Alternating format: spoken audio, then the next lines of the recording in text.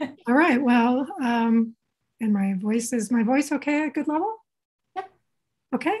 So my name is Kristine Larson, and I'm going to be one of the instructors today. So welcome, um, and thank you for coming to our short course on GNSS IR.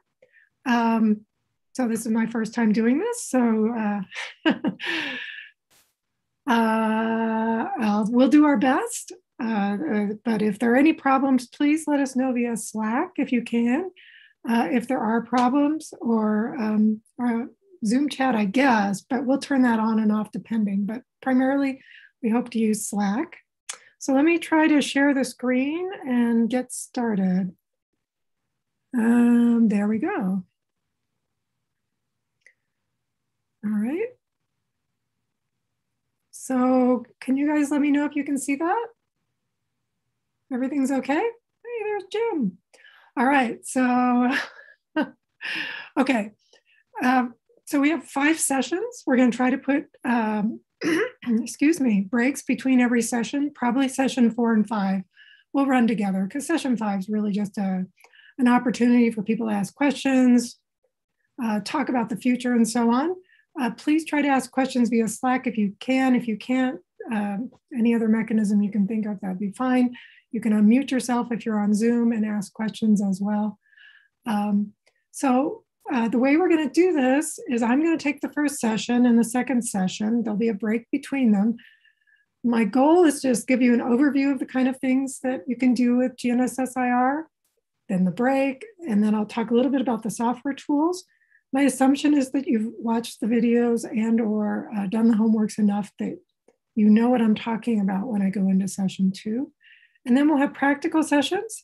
I'm going to be working with Kelly Enloe on this. She's made all the Jupyter now, now excuse me, Jupyter notebooks, and Tim Dittmann has helped with the code as well. And he's um, been working very hard on getting those Dockers for people that are using the Docker implementation. Um, Tim, do you want to say anything about the poll? Uh, uh, yes, I think, did Melissa just launch that for us? It looks like. Is that showing up on everyone else's screen, I should say? Oh, okay. Looks Wait. like it. Yeah, I'm seeing people okay. already answer. Okay. So yeah, there's a poll here. It's very simple. We're just curious. We just want to get some feedback on now having gone through everyone having gone through their installations, what they ended up using, and you can select multiple things here if you're experimenting with multiple versions of the build. So. Okay. Um, you know, it's one thing to write a software package. It's another thing to get it so that people can easily install it. So we want to, you know, do that well. And we've definitely learned a lot um, by getting this code together for you.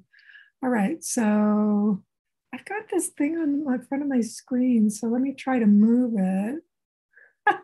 Maybe there's a little hide button. Yeah, there probably is. I'm kind of, I'm new to Zoom. You guys will laugh at that, but that's sort of the way it is for me.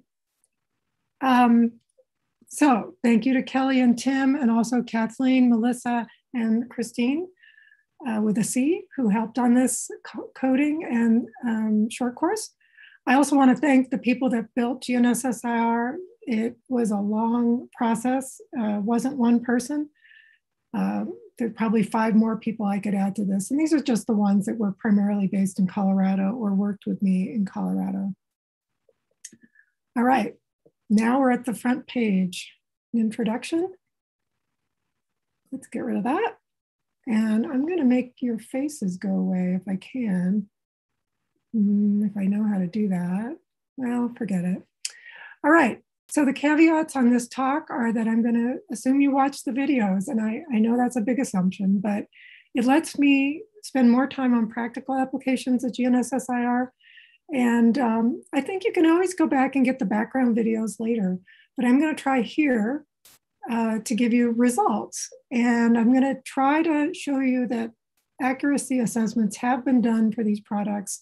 And I'm going to try to point you to papers so that if you do want those details, you can um, get them. But first, let's start out with why would you do GNSSIR? Oops. There we go. Uh, well, it's an in situ sensor. So if you believe you have a science application where you need in situ sensors, uh, this is a possibility for you. Uh, some other in situ sensors have very small footprints. For example, soil moisture sensors often have tiny footprints. And any instrument can be expensive to maintain depending on how it's installed. I think it's the wish of many, many people to have satellites measure everything for them so that they don't need in situ sensors. Uh, but the reality is, satellites can have very large footprints and they don't always work uh, in some conditions. And so the potential for GNSSIR is to provide additional data with a different kind of footprint. Kristine, it doesn't look like it's advancing on my side. Okay, that doesn't happen? So is it a white screen? I'm just still seeing Kelly and Tim's pictures. So uh, inadvertently, I um, I think I hit the something bad. So does it? Can you see it now? I see the why would you want to measure environmental signals? And then nothing else? How about that? Yeah, now it's advancing. Now it's advancing. Okay. Okay, now I think the thing is I shouldn't touch this gray bar ever. Can you see my caveats? Yes. Can you see supplement other in situ sensors? Yes. Okay, all right. I apologize. I must have touched that thing. I'm sorry. I'm not very experienced with Zoom. so I said these things, but you didn't see the words. Thank you for telling me. So the other big thing for uh, GNSSIR is uh, environmental scientists need in situ data for uh, satellite validation, and hydrologists need it for assimilation. Um, in some cases, the combination of the normal positioning products from GNSS combined with reflections is really essential for doing good science. So there is a there is an application and a need for some of these things. Um, and in some cases, existing GNSS data sets can be used. And it's certainly true that in the beginning, I emphasized that a lot when I would talk to people about this method. But the reality is, you can do it on purpose. You can deploy a GNSS instrument and you can make sure it can do positioning and reflections well. The idea that you're going to be able to use all these GNSS data sets that exist, uh, it's exciting when you can do it, but you can't do it everywhere. So that's another message I'd like to get through to people is you can't do it everywhere. So the how briefly, you guys are probably tired of seeing this slide, but it's my attempt to uh, show you the physics behind this. Basically, you have a direct signal coming in from a single satellite. Receive, can you guys see my finger moving the little arrow? Okay, so the antenna receives that direct signal, which I'm showing you as a nice little blue sine wave. And there's a planar surface below the antenna. Uh, this is a vertical view. And the reflected signal travels an additional distance, which is shown here in red.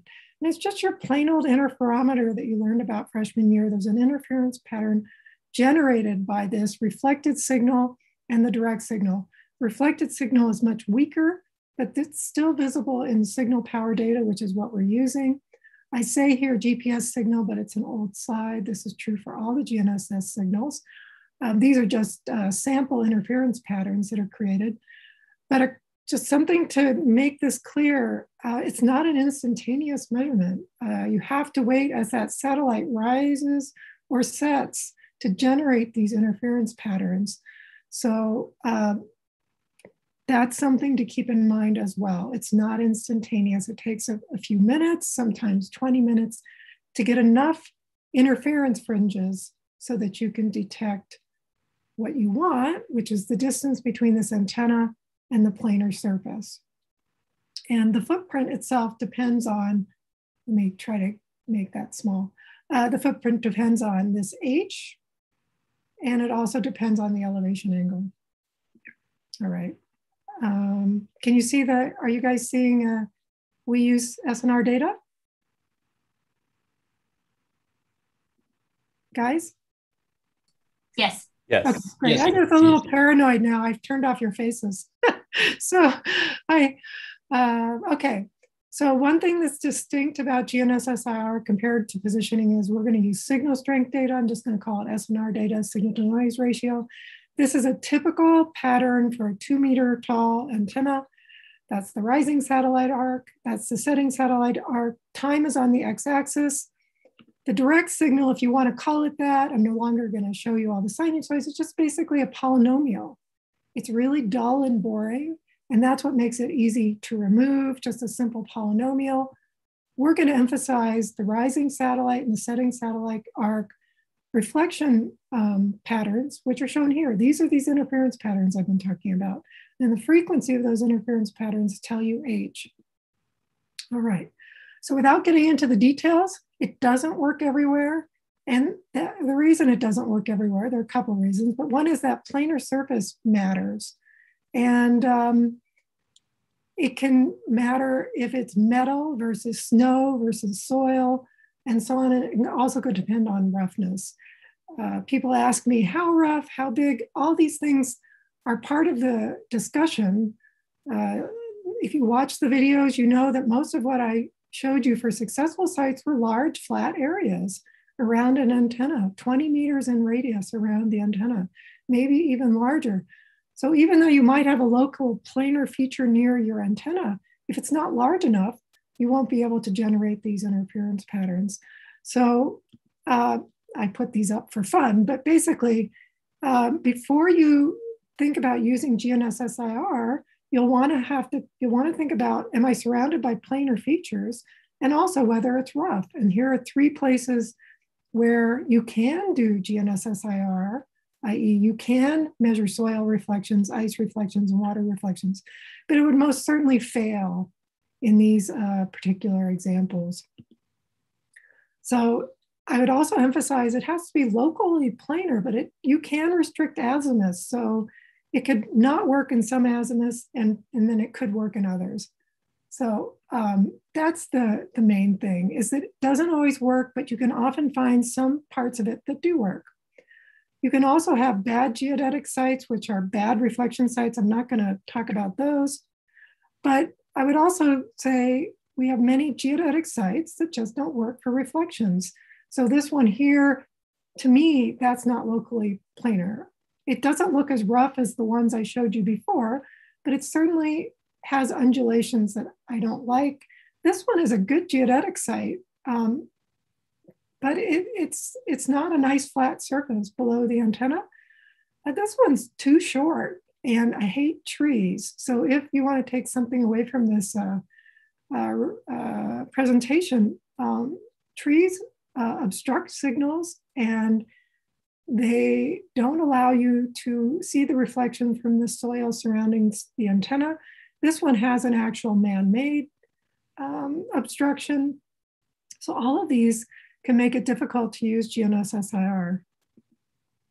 But I prefer, I think I said this in one of the videos, I prefer to look at this as a glass half full rather than half empty. There are lots of sites where it works, and this is the site that we used as our test site in Boulder, Colorado.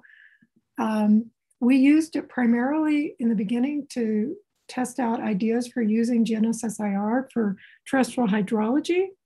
Um, the three main targets we had, and we were soil moisture, snow depth, and biomass. The first one we started with is soil moisture, and that drove a lot of our uh, initial efforts. Then it happened to snow, so we ran out with receivers and did some additional studies. And vegetation was a bit of a, um, what's the right word, accident. So anyway, our first results were in 2008. This is for Boulder, Colorado. What's shown here on the x-axis, day of year, you can see that there were these precipitation events in blue. So here it's shown as rain. Uh, we, apologies, uh, we were planning to do this study, so we had purchased soil moisture sensors. We had buried them in the soil and set up telemetry for them and so on. Uh, so this gray range, we had five sensors at the soil surface. I'm plotting the range of those soil moisture sensors. And what's shown in colors are the uh, estimates from GPS. And the different colors are just different satellites. Now we're going to get away from that later, but in the beginning, we were just trying to understand what was going on and making sure that we understood which satellites were measuring when. And there was a very high correlation between these two. Uh, then in 2009, uh, it snowed in Boulder. We're not, you know, in the high Sierras or anything. Uh, we don't get meters and meters of snow, but we get often 10 to 20 centimeters of snow. Uh, this happens to be one of those uh, snow uh, storms. where the peak snow depth was, say, 25 centimeters. What's shown in these dark red squares were the estimates of snow depth we made for different satellites. Here I gave up on using different colors, but um, there also you see some hand measurements. That means these diamonds were humans, went out and collected snow depth along a transect. And then there were some nearby sensors measuring snow depth. Uh, this was in the original publication, so I kept them there. But they're also valuable because if you see here three different colors, that's three different sensors of um, measuring snow depth in the same field, and they're getting different answers. And that's something you need to think about uh, when you make measurements that are in situ. You have to think about what's the area over which you're averaging. Well, the GPS is averaging over basically the entire field. These particular snow depth sensors were measuring different parts of the field over very small footprints. So that's something when you do these kinds of um, comparisons and they don't agree exactly, you have to always ask yourself, are they measuring the same thing? Right? Um, and that's something just in the to keep in your mind. Now, the next thing we looked at in 2010, this was pretty much, um, I think this is an advertisement for GPS networks having interesting statistics on their website because really this vegetation statistic came out of some data I saw posted by UNAVCO. Also, IGS does it, EUREF. Um, they were measuring something called pseudo-range noise, which is one of the GPS signals. This is not SNR data, but they were measuring this in a way that let them say the network was working or the receiver seemed to be failing. And um, I had to reverse the sign, but it always seemed to peak in the summer when the um, vegetation grows in the Western US. So I'm not talking about California so much, but in places where it snows, vegetation grows in the summer. And uh, I worked with uh, Eric Small and other ecologists to download these NDVI data, which is an optical remote sensing data set that would tell us something about plant growth that's a quote normal ecology metric.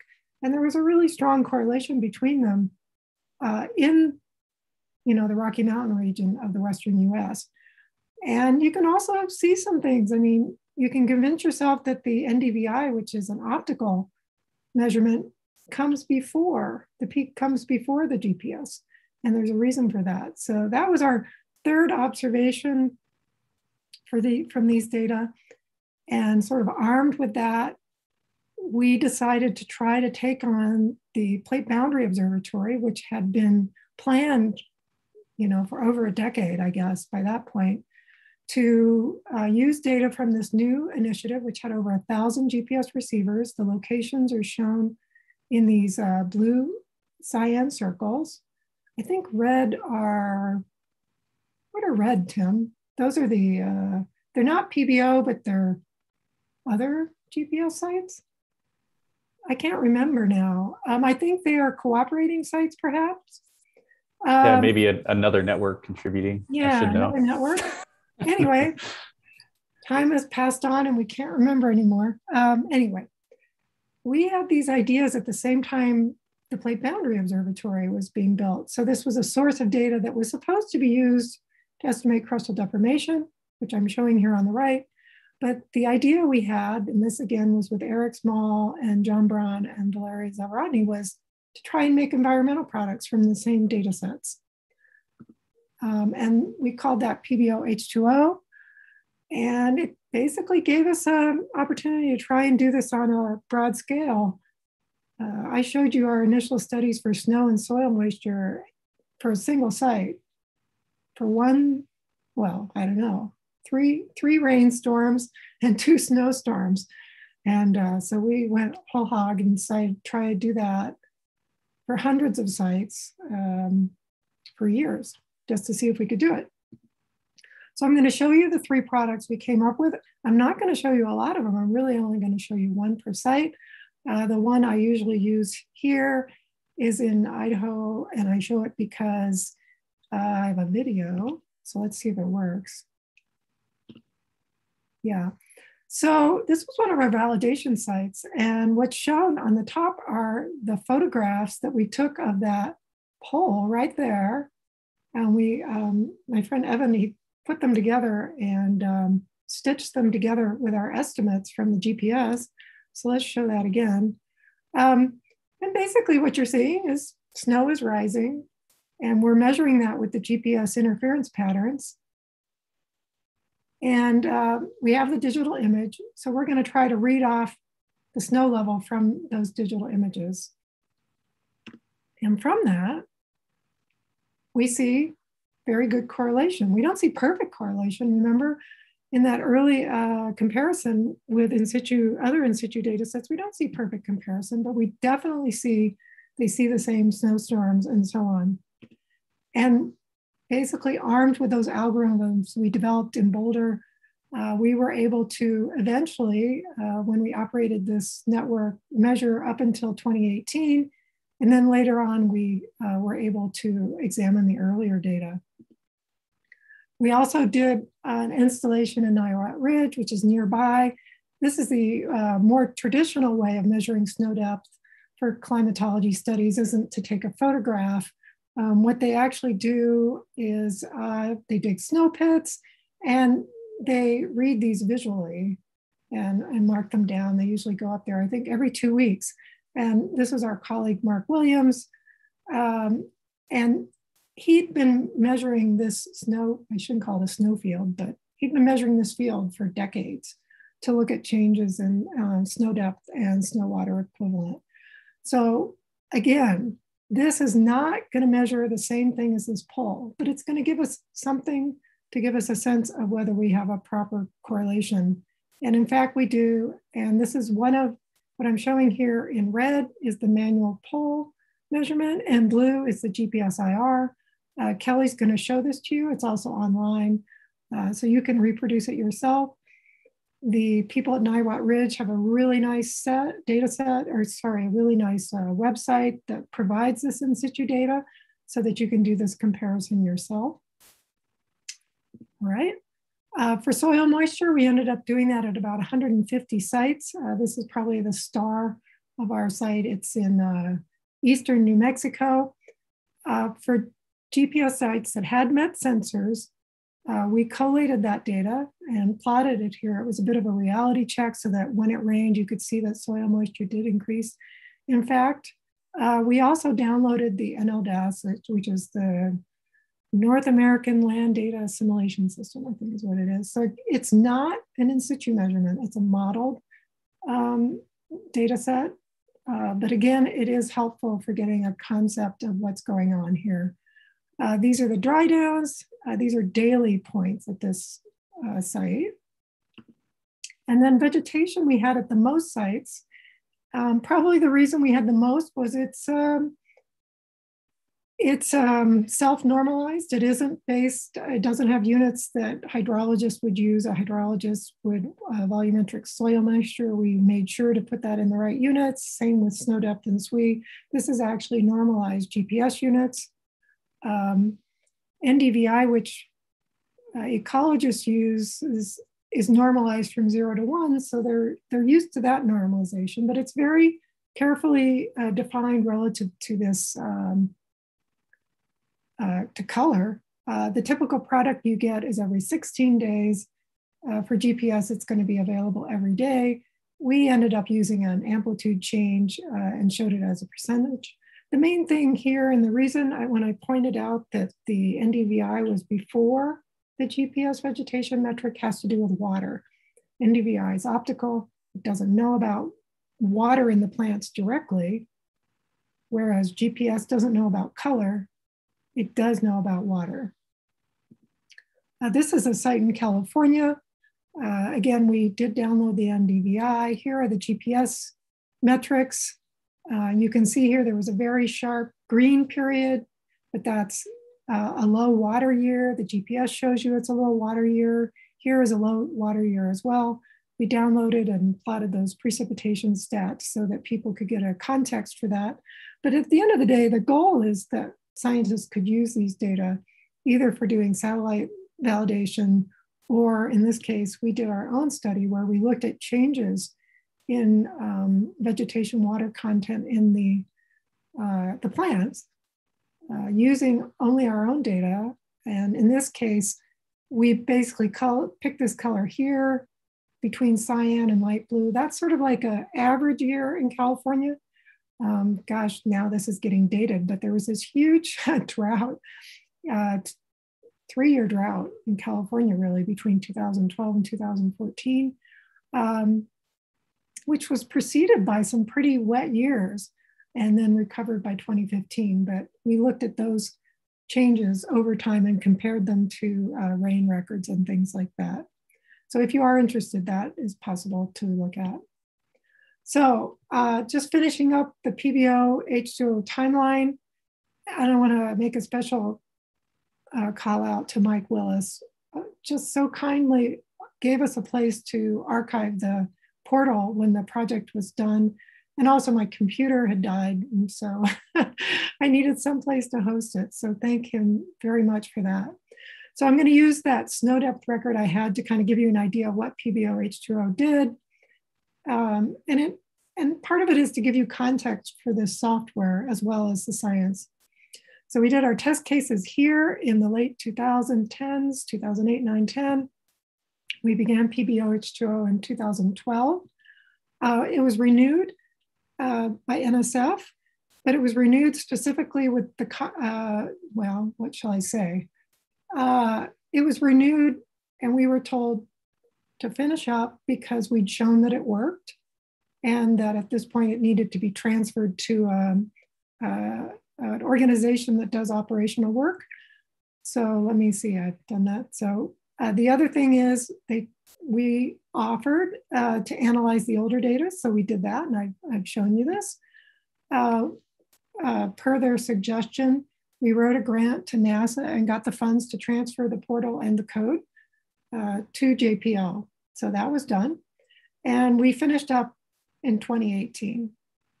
So it operated really from five to six years, but in fact, we were able to uh, um, put together a much longer time series because the data are archived in a professional way, very organized. You're able to get ancillary data, and um, and that's what we did. All right. So after that point, uh, and again, this is with colleagues, and I'm going to try to show their pictures where I can. Uh, we started looking at other things you could do with GNSSIR. This happens to be Jeff Freymueller's um, site. Why would you want to use GNSSIR to measure tides? Well, it's relatively cheap. And in that sense, it might even be free. In this case, Jeff Freymueller is measuring tectonics with it. Uh, it doesn't have to be directly on water. Um, I mean, this one seems to be, but it doesn't have to be. And this is the key. It's measuring the vertical position of the sensor. And that means it's an ITRF tide gauge. So if you're not a geodesist, ITRF won't mean anything to you, but for the people on the call that are, that is important. Um, scientific studies need tide gauges in ITRF, and that's just the way it is. So that could be helpful. So let's go back to my sort of um, favorite SNR time series, which is for a two meter tall antenna. Uh, if you do a periodogram of this data set and this data set, and use GNSS Reflect, which you're all using now, you will get the same frequency for both of these because it was collected in Boulder, Colorado, Marshall Field, which is relatively flat. I mean, it might be different by a couple centimeters. So these frequencies are the same, but this is the data from Jeff Freymueller's site. Uh, it's a rising and setting arc. Here I've done the direct signal in red, so that's a little bit different. But at low tide, you see these very high frequency signals. And at high tide, you see more typically um, what you saw in, in um, Boulder.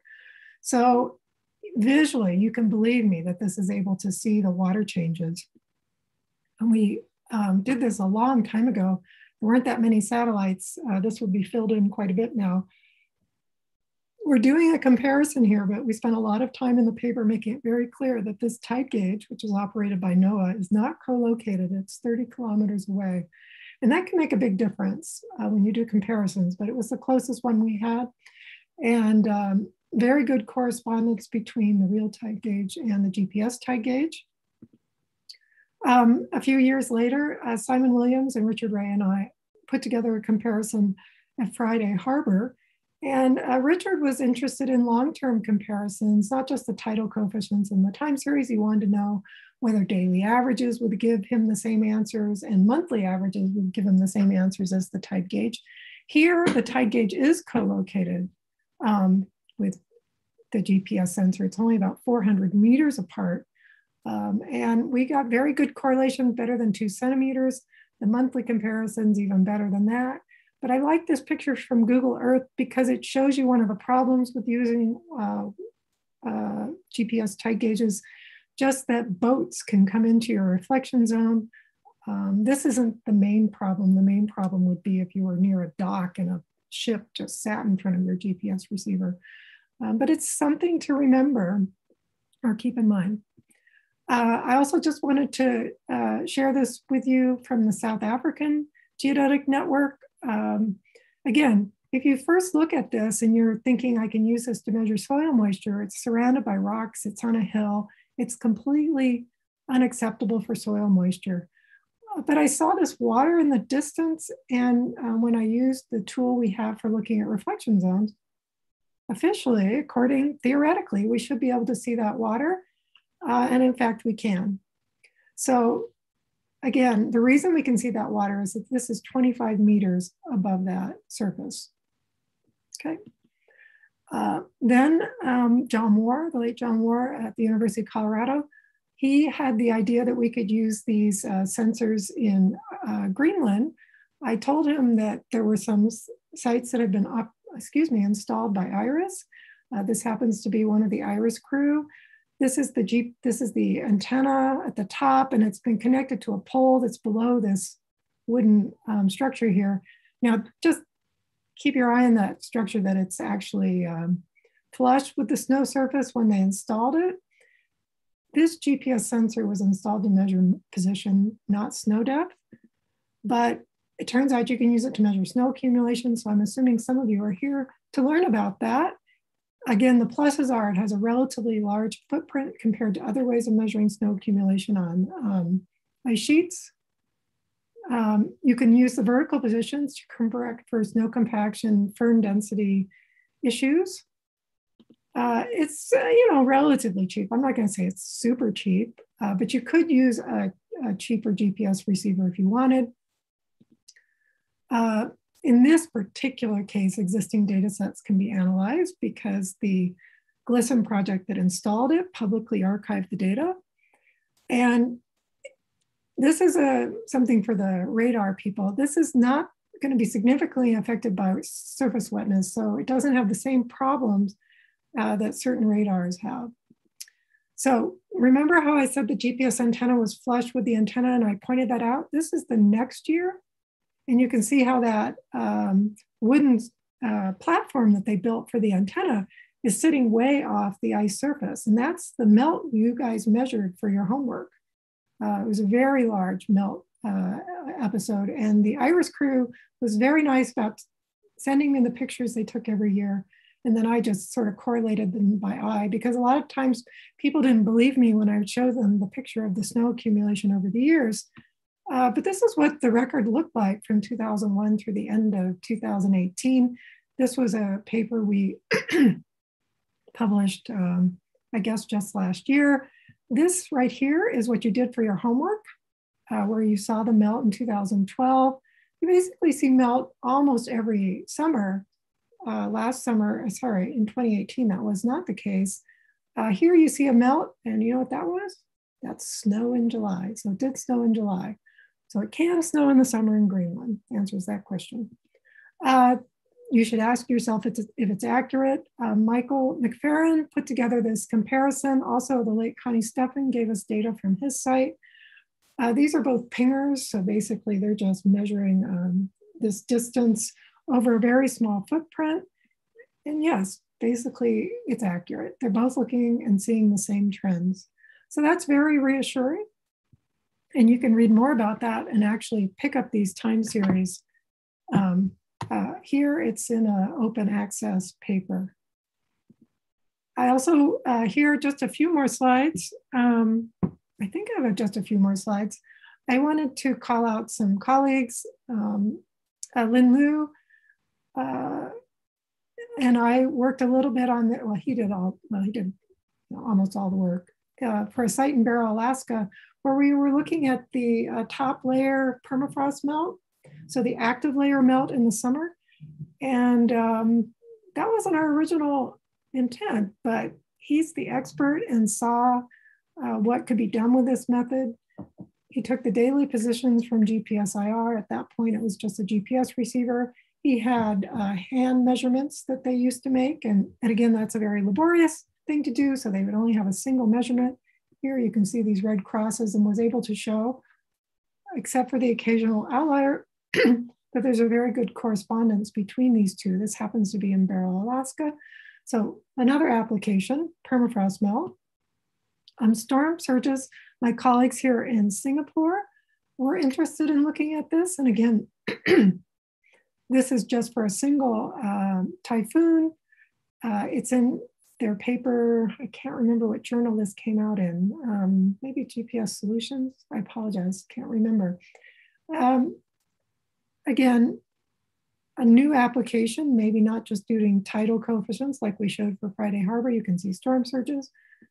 Um, and then um, during the pandemic, I sort of thought it would be fun to try and measure this tsunami in Alaska. Um, what's shown here are quite a few plots, but basically we have a, a size, sorry, a tsunami model are the colors. So this is the amplitude of the tsunami model. Uh, this is the star is the location of the GPS site. This is the GPS site, it's just so beautiful. It's one of the PBO sites. Uh, it is operating at one sample per second. It's about 70 meters above sea level. I hadn't previously shown you any uh, examples at such a high uh, elevation, but it turns out you can measure sea level accurately from 70 meters above the water surface. Now, during that earthquake, we have Geoff Blewitt's measurements of how much it moved vertically. This is about 35 centimeters. So again, we have GPS being used for this co-seismic um, offset. This is my measurement of the water surface over a, a 30 day period. So I measured the tides for 30 days, five days after, and 25 days before the earthquake, just so you could see the tides. Again, that's what tides look like. And then what's shown up here are the comparison between the tsunami model, which is the gray, and then the, the uh, blue and the green dots are the GPS. So it's, a, from my view, it's a relatively small tsunami. Um, you know, of course, we could see a much larger tsunami, but there's a good correspondence between the two. And I've segregated the rising and setting arcs just because there are systematic errors that we were uh, looking at to evaluate these data. So uh, this paper is open access, so please feel free to download it if you're interested. And then I want to call out my um, colleague here in Germany who had a brand new um, idea, which was to look at sediment compaction. And again, this is a combination of using reflectometry to measure this but also to look at how the position of the antenna could be changing uh, due to how it was anchored to the earth. So subsidence, if you will. So I think this is um, uh, a real call out to the nice ideas that the community has for uh, innovative things to do with GNSSIR. So, so to summary, summarize, okay, I, I kind of feel kind of silly saying that, but occasionally people ask me if GNSSIR works and it drives me nuts. Uh, yes, it works. I don't think we need to publish. Um, so I tried to show you accuracy assessments just so you know people have looked at this. That doesn't mean we couldn't do a better job, but um, at least start from that, okay? Um, yes, we can improve it and I really would appreciate uh, your input on that because um, a lot of this work was done in the GPS era. We're in the GNSS era now, and, and I, I think that's a place to really improve things. And to do that, um, we'll probably need some more, you know, validation efforts. But we also need better models. So let's not go all for one versus the other. Um, I showed you PBOH2O because I'm going to talk about it a little bit when I talk about software. It shows you where we came from, but it also shows you it can be done on a broad scale. All right. I knew nothing about running a network when I started. And with the help of my colleagues, we were able to put that together pretty quickly. So once you have identified ways to evaluate the quality of the products, it's not a huge stretch to be able to apply it on a broad scale. We did it daily. We did it every morning, but you could certainly do it every hour. You could do it every 15 minutes, things like that, if you had the telemetry. Oh, I, it's like, it's almost like I know what's in my slides. so I don't, I think that might be it. Okay, no, it doesn't work everywhere. I'm not even sure if there's a next slide. Um, how can we make this technique available to more people? Well, that's why I've asked to do this short course, and I'm very glad you came. So the focus of this class, I want you to know why it works. I mean, um, it, it's frustrating when it doesn't work. I totally understand that. I've looked at data from hundreds and hundreds of sites, and I'm really happy when it works still. But I've also failed. And for me, I don't feel like a failure. I feel like I want to know why it failed. That's the more important, I think, lesson so that you can optimize your time on places where it works. I really would like you to be able to tell what makes a good site and what makes a bad site. And that hopefully would mean you could install a good site. Uh, you know, yes, it's really nice to use existing sites, but sometimes if you really want something, you might have to install your own. So uh, what's the precision and accuracy of the method? Again, we tried to write papers for this. Uh, I will be honest, we were so focused on accuracy, we didn't spend as much time talking about precision.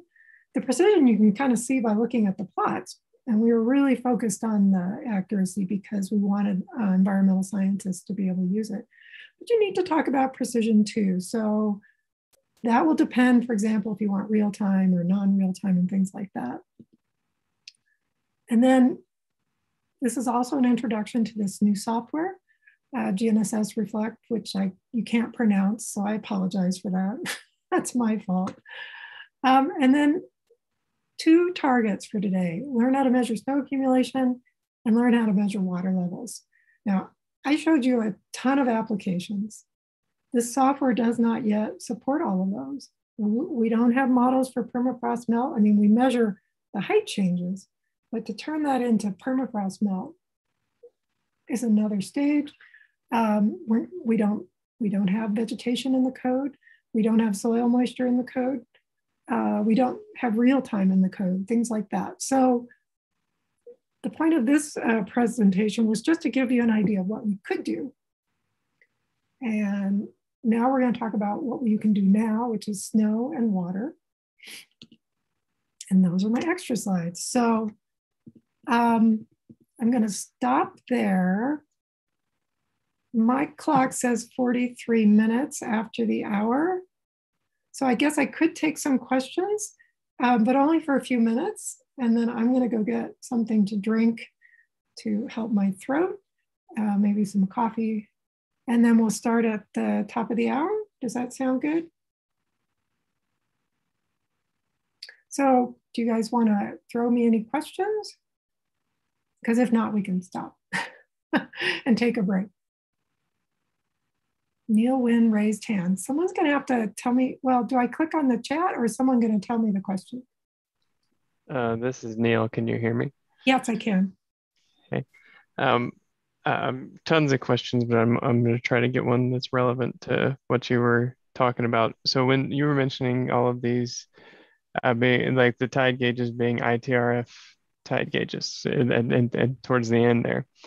Does that mean that when we are processing reflectometry in any of our sites that those locations are relative to ITRF uh, currently 2014 to that particular date and time, much like a PPP solution might be if you're a, G, a GNSS real-time person. Um, okay. So if we calculate one, well, I can today, answer your question is ahead. no. The answer is no. Okay. No. Mm-hmm. Let's stop it. Um, so what you would need to do is download the time series from, you could get it from NGS, maybe you do your own positioning. I usually get my time series, position time series from Geoff Blewitt. You need to tag it into to so to make it to to make it into an ITRF tag gauge time series computed by somebody you trust, which are in ITRF. You add what you measure in this class, and then we have phase center offsets. So those three things. Got so it. The relative I measurement. I do have a download. Do, do you guys remember what I call it? Is it download UNR or something like that? I do have a I do have something that downloads time series for you, which are in ITRF. I do not know what Geoff Blewitt is using these days. He's my colleague that computes positions for all public GNSS sites, GPS sites. It's probably 2014. You've learned how to do reflectometry. The next stage here is making sure we agree on the correct phase center offset to apply. That is one of the things I really would like help on. I have deliberately not added that middle step because I don't want people to start collating result files, some with an antenna in it and some without. That would be a disaster. So one of the things that's being done, where I didn't say uh, this is a funded project from NASA, GNSS science team. One is to make this open access or open source, whatever you want to call it. The other thing we said we're doing is to make a real format for the data, which has a header, which would tell us the antenna type, and also to do what you're talking about. Because once you have the antenna type, we could do what you're talking about. But we don't have that right now. So when I say it is an ITRF tag gauge, there's someone in Great Britain right now who does that every day for hundreds of sites. So it can be done. He does it for hundreds of sites, but I don't have it in GNSS Reflect right now. I'd like to add it but I've, I've kind of been waiting to get the uh, antenna uh, situation in hand. And it's hard because there's so many of them. sure, that makes sense. Cool, thank you. Sure. Maybe um, one more question and then I'll take a 10 minute break. Kristine, there is one in the, a couple in the chat. Um, okay, I'm opening. So here it goes. The references, feel free to unmute yourself. Should be Andrea Gatti is the first one. Seconds to one second. Do you expect an improvement to the accuracy? You don't have to go 30 to one. You could go 30 to 15. You could go 30 to five. Yes. But it depends on how tall your antenna is. There's no reason to use one second data for a two meter tall antenna. In my opinion, you're just wasting your time. But sure, if you have a taller site, uh, get something either at a higher rate or something in between those sites. How much does the antenna influence the technique? Um, well, yeah, in some ways, you, I, as a joke, I would tell geodesists buy the worst antenna you could, but they all get upset. The reality is none of those geodetic antennas suppress reflections below about 20 degree elevation angle. And those of you who've done your homework know that's what we're using. I mean, sometimes we go up to 25, but we're really using the data below 20 degrees, right? So none of those expensive geodetic antennas suppress reflections from natural surfaces below 20 degrees. When I say natural surfaces, it's because the best surface, I'm sorry, those geodetic antennas do an outstanding job of suppressing reflections from large metal surfaces. Okay, so, so that's why I say natural surfaces. That's why we're able to get away with this is because natural surfaces have different dielectric constants than metal. Those antennas do a really good job of suppressing reflections where the dielectric constant is such that the right-handed energy is changed to left-handed energy and the antenna suppresses left-handed energy. So personally, I wouldn't spend a lot of money on my antenna. But if I want to share my site with geodesists and they want an expensive antenna, I let them have it. the nice thing about the expensive antennas, all of them, is they have a very symmetric phase center pattern, and that's useful. I mean, I, am not a, I'm not against geodesists having expensive uh, antennas. What are your thoughts on airborne?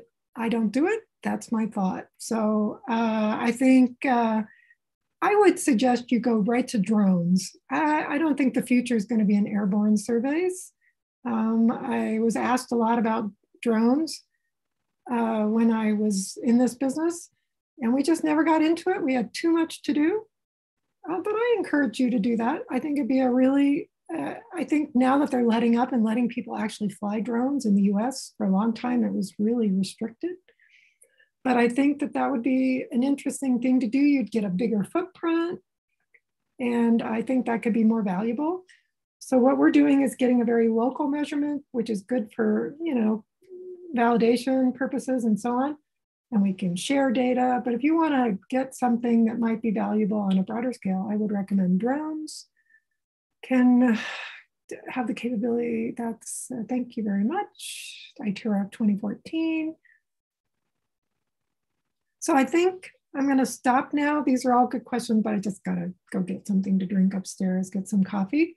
And then, um, you know what I might do, guys, is I might go right from software to snow. And then maybe we'll take a break between snow and water. Did that make sense? Anyway, so let's stop and, and start in about 10 minutes. Okay, so I guess I should um, share a screen again. Is that right? Can people hear me? Yes, yes. Okay, so Kristine goes to share screen. Software tools, let's give it a go. Okay.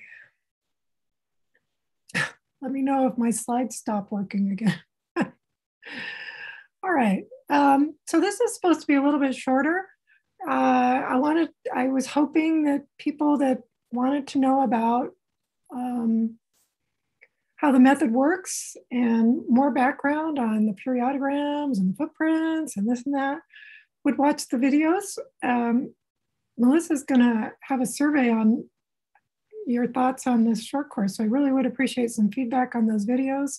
It's something I've never done before, um, but hopefully some of that information got through so we wouldn't have to spend that time on it today. Um, why? Okay, so I guess uh, my outline of this part is I want to talk to you about uh, the codes that are available to you or the software tools that are available to you. Some of this relates to PBO H2O, which was one of the reasons I brought it up. I am not going to talk about Felipe's uh, simulator but he worked really hard on it. I think he did a great job. Uh, he made it publicly available. It's in MATLAB. And he wrote a paper about it. So I would just point you to that. I'm going to talk to you a little bit about the original MATLAB tools I published in 2018. But today, the main things are the GNSS reflectance code that was um, developed by myself, Tim, Kelly, and so on. So this is sort of the outline of things I'm going to talk about in the next 30 minutes or so. Um, so let's just start with PBOH2O because that's where this all really came from. Um, it was in Fortran. and um, all the code was in Fortran and uh, that did the dirty work behind the scenes. But I was the only person who coded in Fortran. And that's a problem when you try to keep something running. Uh, now, there were some MATLAB wrappers. Uh, my students all spoke MATLAB. And uh, so the, you know, the snow depth, the SWE, the vegetation metrics, the um, soil moisture models were in MATLAB, and we still have them. Um, we downloaded 1,300 files a day. Uh, that was primarily done with shell scripts it was a GPS only world back then. So we mostly just got broadcast orbits and so on. But we used shell scripts. We used things that I knew how to use, which meant shell scripts, Fortran. I knew MATLAB. Uh, I did not know about all these uh, environmental databases, but mostly we accessed them by shell scripts. But you know, uh, if you want to go down this rabbit hole, it's complicated. Uh, every time you have to access one of these centers, you're going to have to deal with their security problems and issues and things. It's just a full time job keeping everything running. So it ran every day for five years. Um, and we gave it to JPL, it ran. It gave the right answer when we gave it to them, and I wish them the best with it, but it's not something we operate anymore. Um, we gave them a functioning set of codes. Um, back then, most of the environmental data types were based on L2C data, in fact, all of them. And uh, just to give you an idea how things have changed, there were three satellites when I started, and there are now 24. So in the olden days, you know, I had very few observations. Now you can do almost anything with L2C. Okay, so that's PBOH2O. It was Fortran. I gave it to JPL to run or not. And uh, I thought as I was retiring, it would be a good thing to give some software to the cryosphere community. And that's where this came from. It wasn't really meant to do anything else. It was an op- it was my effort to make some of my code more easily used by the cryosphere community because I was using Fortran, right? We had a thousand, 1300 sites to look at, and we did not use MATLAB scripts for that. So what I put on the uh, GPS the toolbox were, were the translators, which were in Fortran, um, and I, I wrote specific visualization tools to help the cryosphere community because I didn't think they would have the background in looking at the data and to help them. And it would give them an interface so that they could do a snow accumulation, especially for the ice sheet people.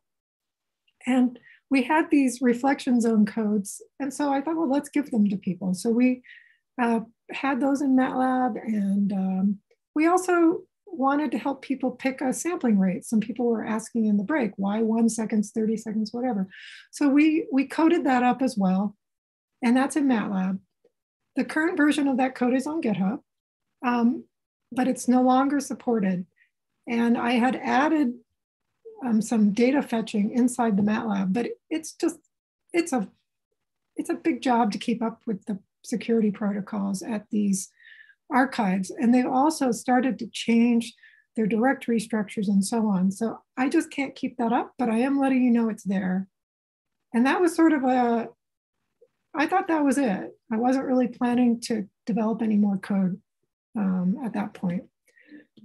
So the code you're here to learn about really just came out of a hobby project of mine. Uh, about two years ago, I decided I'd like to make a web app or learn how to make a web app or you know i was watching videos. It was a lot of fun. It was all new. And um you know i just didn't want to so you know all the all the videos on youtube are people's signing up to read blogs and stuff and i didn't want to make a blog i was curious if i could do something real so i was like i know about gps i was curious if i could make a web app that G- did gps ir fast enough that it would be useful. And it was kind of an advertisement, but it wasn't meant to be. I guess I didn't really mean for it to stick around, but it, has been there a couple years now. Uh, this is its current state. Um, it has examples.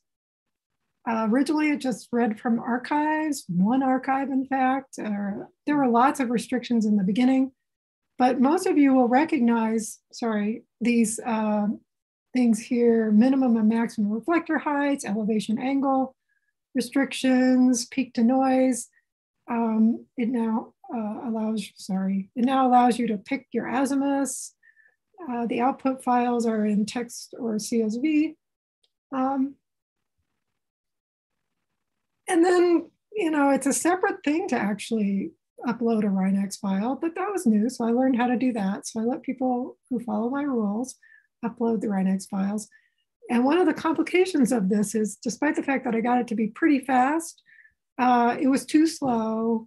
If you click the submit button, um, I was told it was too slow because it took more than a few seconds for the results to pop up, five to 10 seconds in fact. so it uses what's called a task queue. It goes off and does the task, and when the results are available, you can use JavaScript to query that. Um, it's all in Python. It uses Flask, if you know what that is. Uh, by GPS API standards, it's fast. When I want to get a position from the Canadian PPP service, it's five to 10 minutes. You know, and they email me the results. There's no immediate response. There's no task queue that I can see. So, you know, it's fast. But to make it fast, and just because of what I was doing back then, it's GPS only. Uh, it has reflector height restrictions because of speed. If you want to do a one second file, it will not be fast enough. And in fact, it might time out of my uh, web app server. So I mean, I'm not saying it couldn't be done, but this was a hobby. I have a hobby license on this uh, web server. So that's why it is the way it is. Can I add GNSS? Sure. But I haven't yet. So file uploads are allowed, but they can't be huge. Uh, I wrote it front to back. And to do that, I had to learn Python, which I didn't know, which is how we got here. Uh, I posted a short video. It's very similar to GNSS Reflect. In fact, that's how I learned to write the code that you're using, is by making this web app. um, you can run it from the command line if you want. If you don't want to install GNSS Reflect, you can use this API. Just use curl. Now, it takes five to 10 seconds, and what drives me nuts is half the time is getting orbits which is just sad. But that's the way it is because I'm not going to store 10 years of orbits on Heroku. I don't even think I'm allowed to on a hobby, uh, you know, um, as a, uh, what's the right word?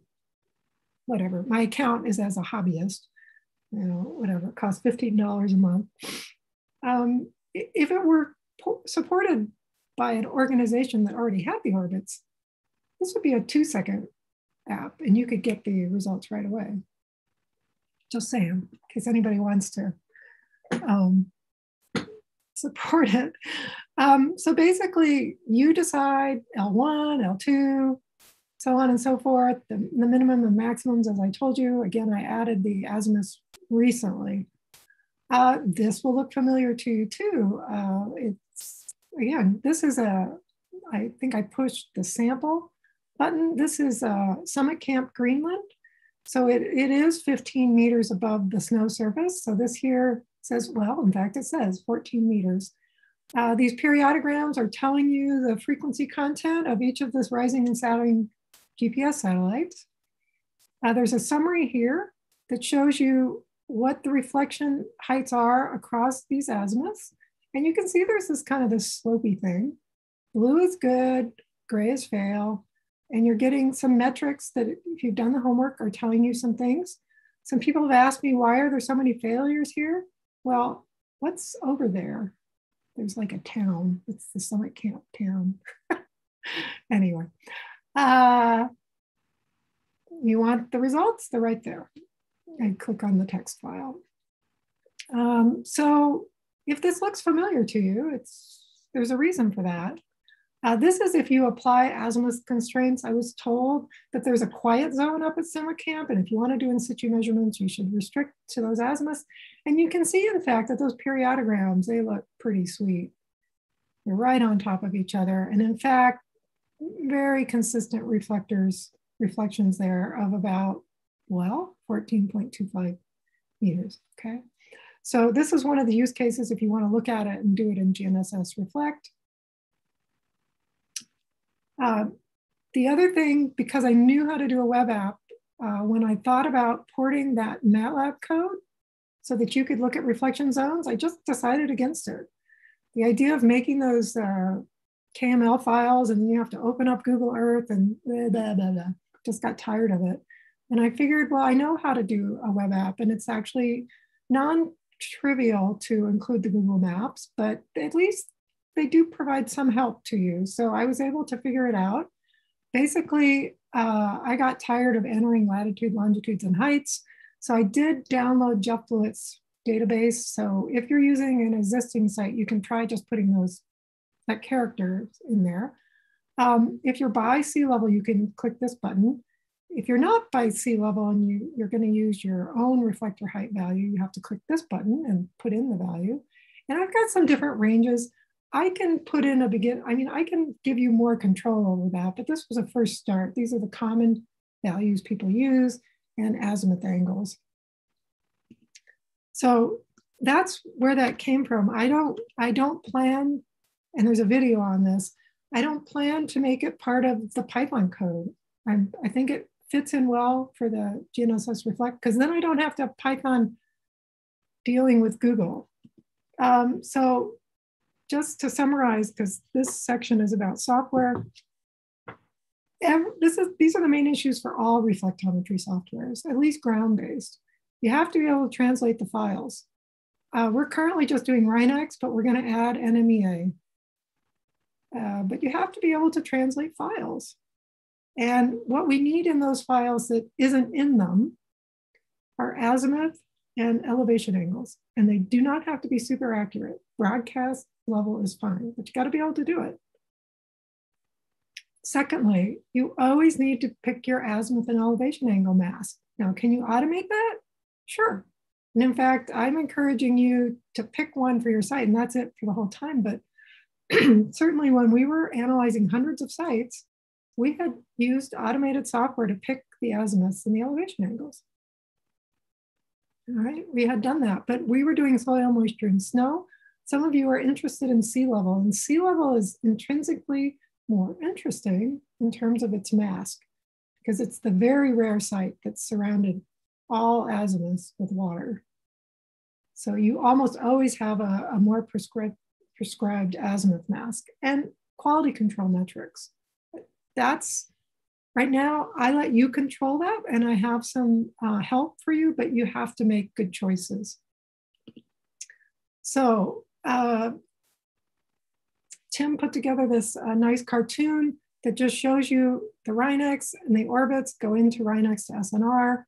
The orbits, uh, we've tried our best to make this have defaults where you don't have to think more than your station, your year, and the day of year. But the default for orbits are GPS only. if you want to use multi-GNSS, you have to say so. Um, again, RINEX, the default is RINEX version two. If you want to use RINEX version three, it's allowed, but you have to say so. Um, and then we've made this quick look um, capability. It originally only returned periodograms, uh, but now we do have this summary. And the goal is to give you feedback about what your azimuths should be, what your quality control parameters should be. That's in addition to using the reflection zone app uh, because th that reflection zones are going to tell you uh, where the water is, for example, or where the building is. Uh, you can very easily get a good strong reflection from a road, but you wouldn't want to measure soil moisture in it or snow, for example. Uh, the actual, uh, once you've got this figured out, you think you understand the site, there is this extra stage I called it make JSON input. Maybe that wasn't a very good name. Uh, just to let you know, it only has the four required parameters. It requires latitude, longitude, and height really just for the refraction correction. And you, you can turn that off, but it's su highly suggested. And um, everything after that, you can change some of it on the command line. Uh, but there are defaults that are meant to work for most people. And when I say most people, really it's for the people that have big, nice open fields. If you're going to do sea level, you're going to have to change the azimuths by hand because I don't have that on the command line yet. Um, but also I recognize that people are going to want to say, well, analyze the whole year. So it does have some ability to both translate and run the code for multiple days. Uh, the environmental products are, uh, so Neil was kind of asking about this, sea levels and environmental product. I mean, we have some tools to help you do that. They're not all finished, but some of them are. And uh, so that is something that we can continue working on. But we do produce the reflector heights, which are used for these particular environmental products, snow accumulation and, and sea level. So we used to have lots of inputs and we tried to strip them out. Year, day of year, station name. If you don't know those three things, that's probably a deal breaker. Um, even the original MATLAB code, which again came from this older PBOH2O system, you required to use Fortran. Um, and that was because it was fast and I had it. but we decided in this code that we would remove it. Okay. So you still could, if you had existing files that you'd already translated, you can still use them. Um, but you no longer are forced to uh, use those Fortran codes. But we had to strike a balance because, you know, measuring sea level and measuring snow depth, snow accumulation on ice sheet are pretty different things. And the snow accumulation people are pretty happy with a daily average, and the tide people are not. And there are some different uh, model issues, like Neil was asking about ITRF. I've yet to meet a cryosphere person that really cares about ITRF for snow accumulation. So there are different issues, and we have one code, and we want to make it friendly to both. So that that's the balancing act. Um, we have added more feedback. The code is now really entirely in Python, but um, Kelly gave me some feedback about how slow the Python calculations were um, for the orbit calculations. And so I taught myself how to use Fortran within Python, and, and now Tim also knows how to do that. So we're using NumPy, if you know what that is. And but that is the reason you needed GFortran to exist, but basically so you don't have to know Fortran and you don't have to compile the code yourself. And the issue is not the file reader. I know how to, I can, I know you can read a file uh, quickly in Python, but doing the orbits is not as fast.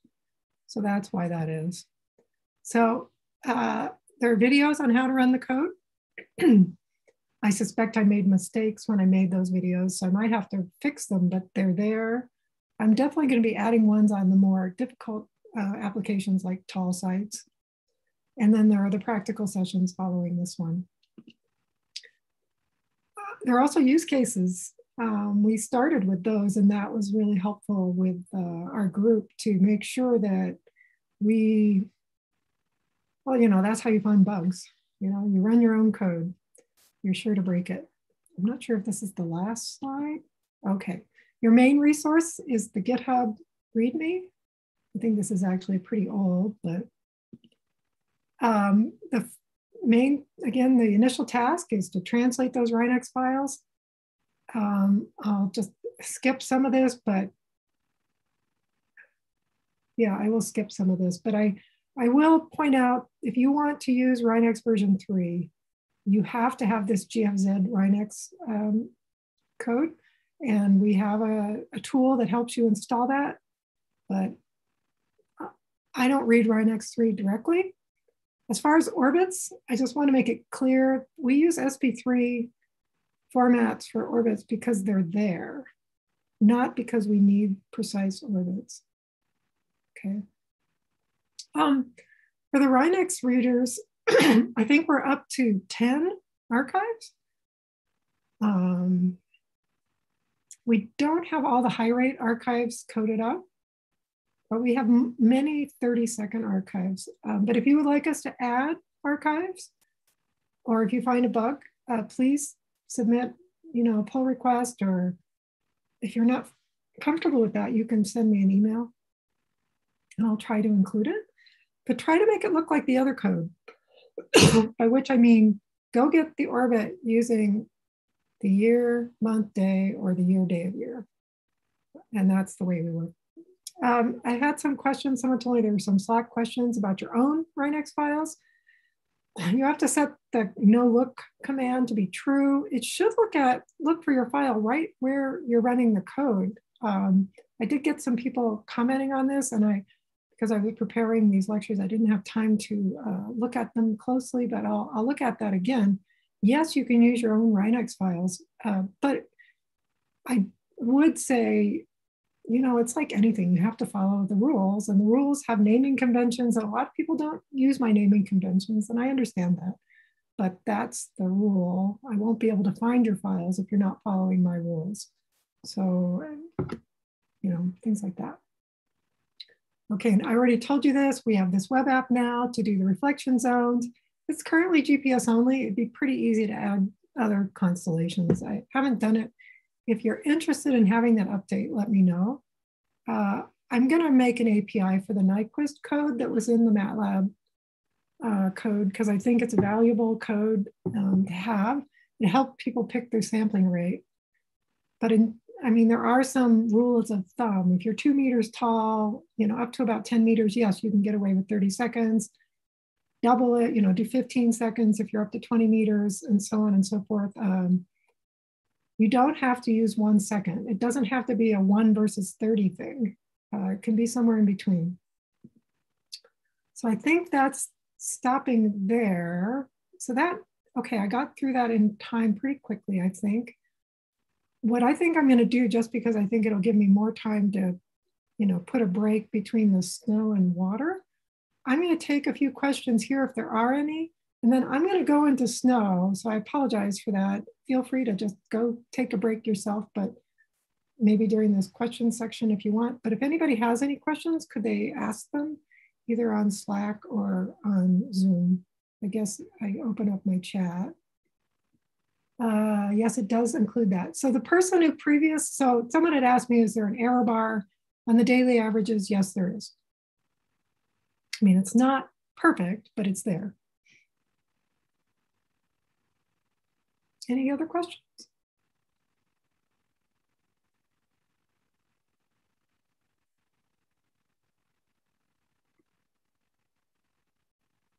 So I'm to open up snow.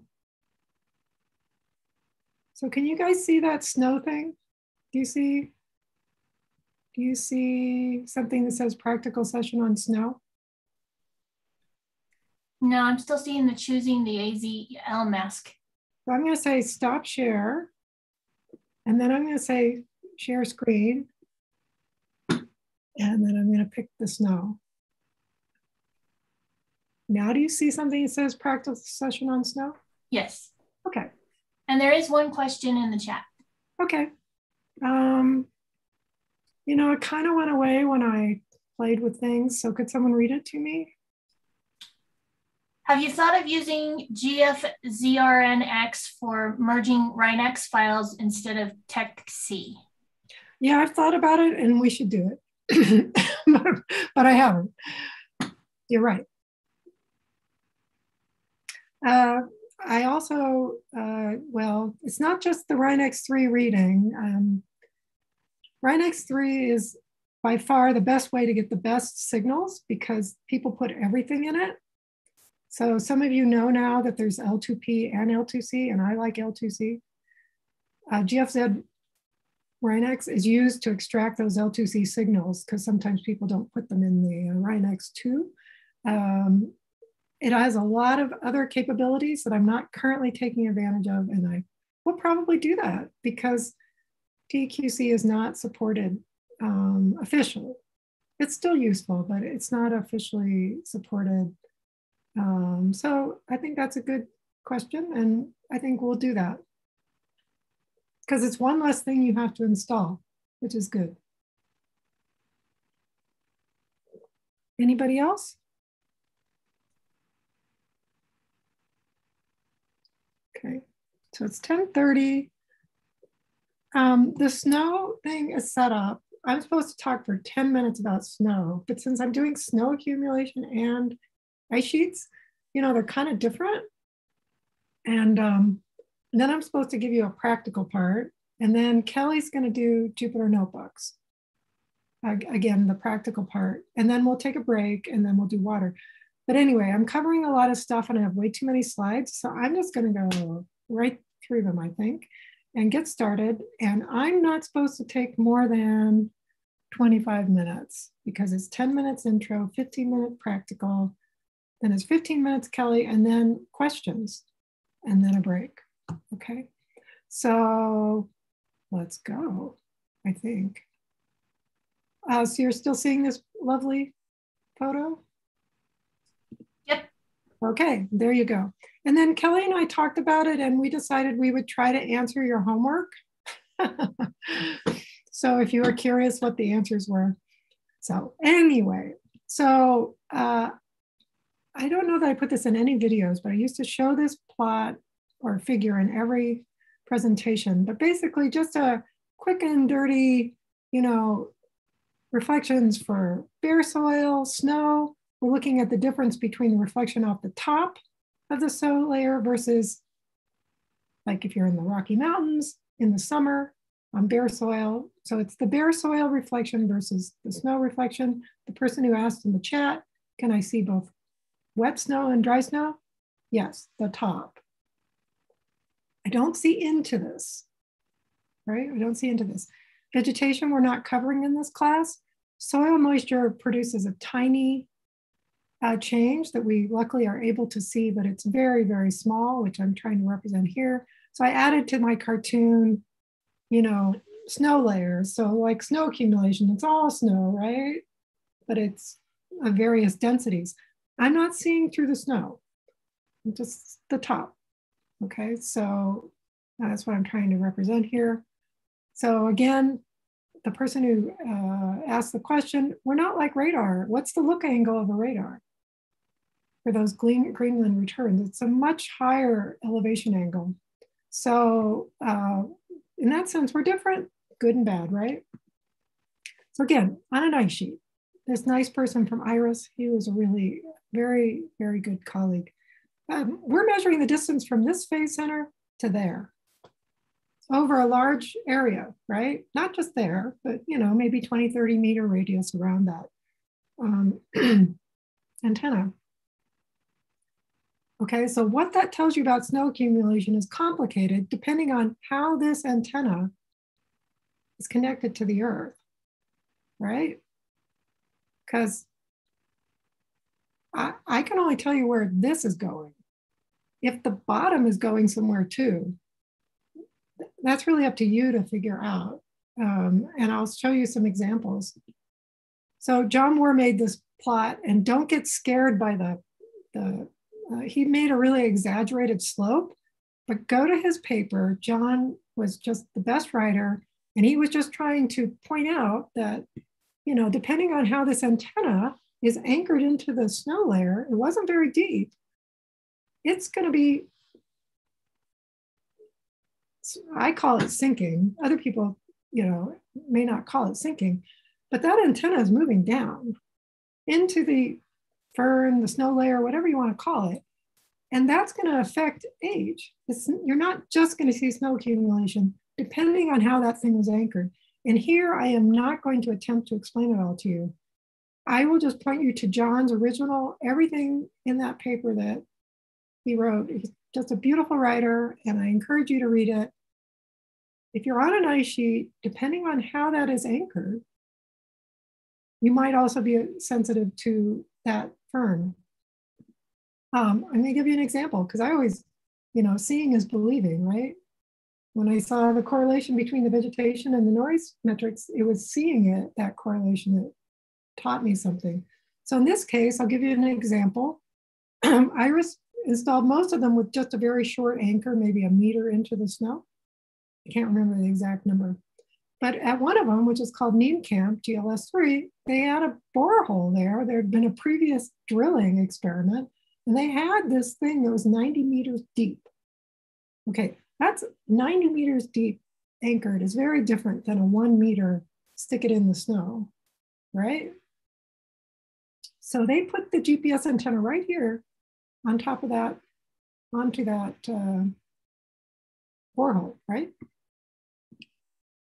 But the next year they moved it to a normal, quote, normal IRIS mount, and that's fine. They wanted them all to be the same. And that that made sense. You know, people, you know, these this field work is difficult. They have to make decisions like this depending on how much time they have. But when you looked at the data, it just about blew up in your face. The first year, so this is reflector height. Remember, so you're used to seeing reflector height. You, you're used to me always doing it backwards, right? So it's 2.8 here, okay? The first year, it just sat there at one. Now, John and I spent a lot of time talking about that, but who knows what happened. so when it was anchored to something 90 meters deep, you didn't see any shallow changes. Then they moved it to their normal sensor. I'm sorry, their normal mount. And of course, okay, it's 2.8 meters on the day they moved it. And that sucker is sinking like crazy. All right. So, in fact, every two to three years, they have to change it. In fact, it can't be used anymore because no one's taking care of it uh, since the pandemic. So, it's if it's not buried, it's simply not usable because the antenna's too close to the snow surface. And so, when John talks about sensitivity to firn, that's what he's talking about. And you can see it in the vertical positions. Now, these are from Geoff Blewitt's site. Uh, I haven't done anything other than download it. Uh, this is when it was on that. And that's that little thing I told you John and I worried about. Um, that's a much higher sinking, sinking rate than there. Okay. So the good news is John, not John, sorry, Geoff Blewitt and other services provide these positions. And in this paper that I told you is open source, not open source, whatever, open option, you can download these positions. These are from the Blewitt Nevada Reno website. Here's my work. You can remove that and you're left with snow accumulation. All right. So, or if you're interested in the firn density problem, you can look at those positions and use them. So, I mean, I, I think that for the experts, I don't presume to talk about cryosphere processes because it gets me into trouble. But there's data there that you can figure out what's going on by thinking about how deep the antenna was when it was, you know, and they're all very shallow except for that one time. So I think it's a really uh, interesting application. In some places, it's not a big effect, this compaction issue. So for homework two, we had you look at the granddaddy of these sites, GLS1. We asked you to first translate it. That's all the defaults. It was only GPS to begin with. So we didn't tell you to try to use GNSS because there is no G GNSS. Um, run quick look, we asked you to look at that. And this is what you got for the periodogram. Looks a little messy, but notice here, this elevation angle, there's a reason that's there. It's because it's to remind you, it says the lowest elevation angle it got was 6.85 degrees.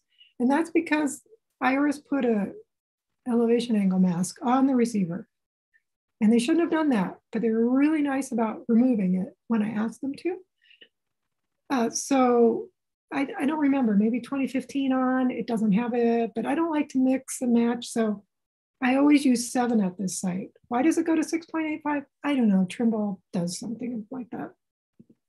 This is the retrieval metrics. Um, basically, this is reflector height for all azimuths.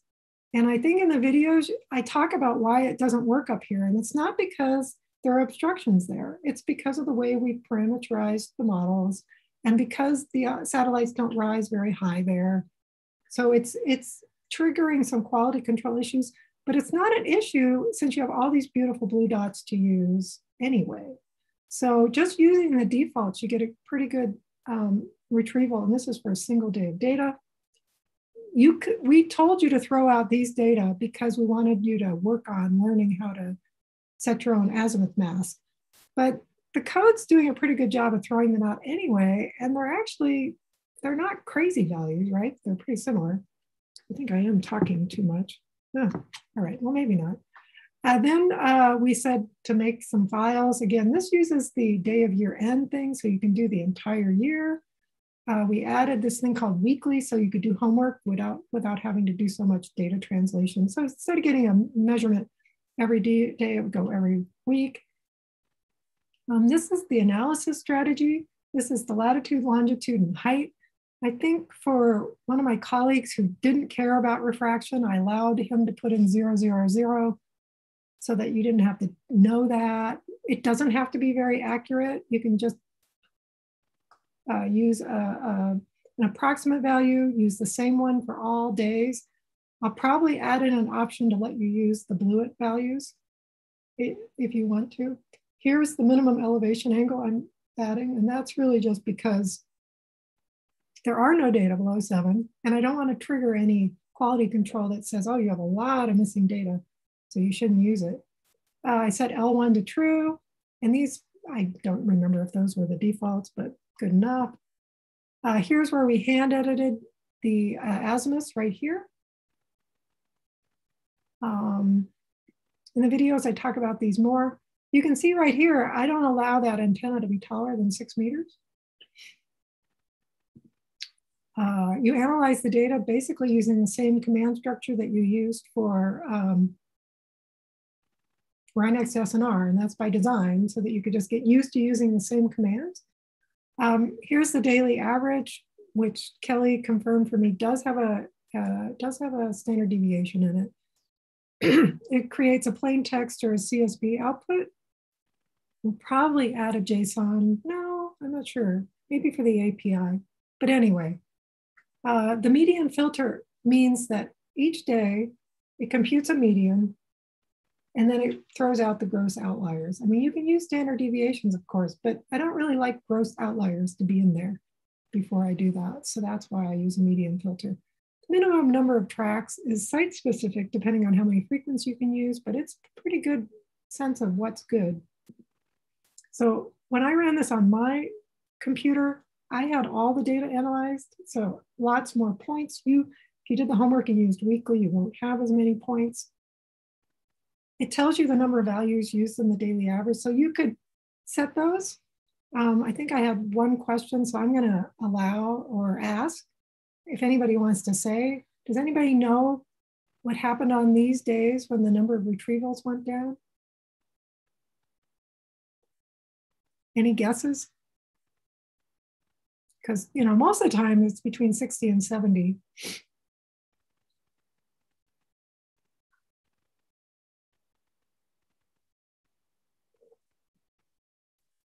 I see a chat.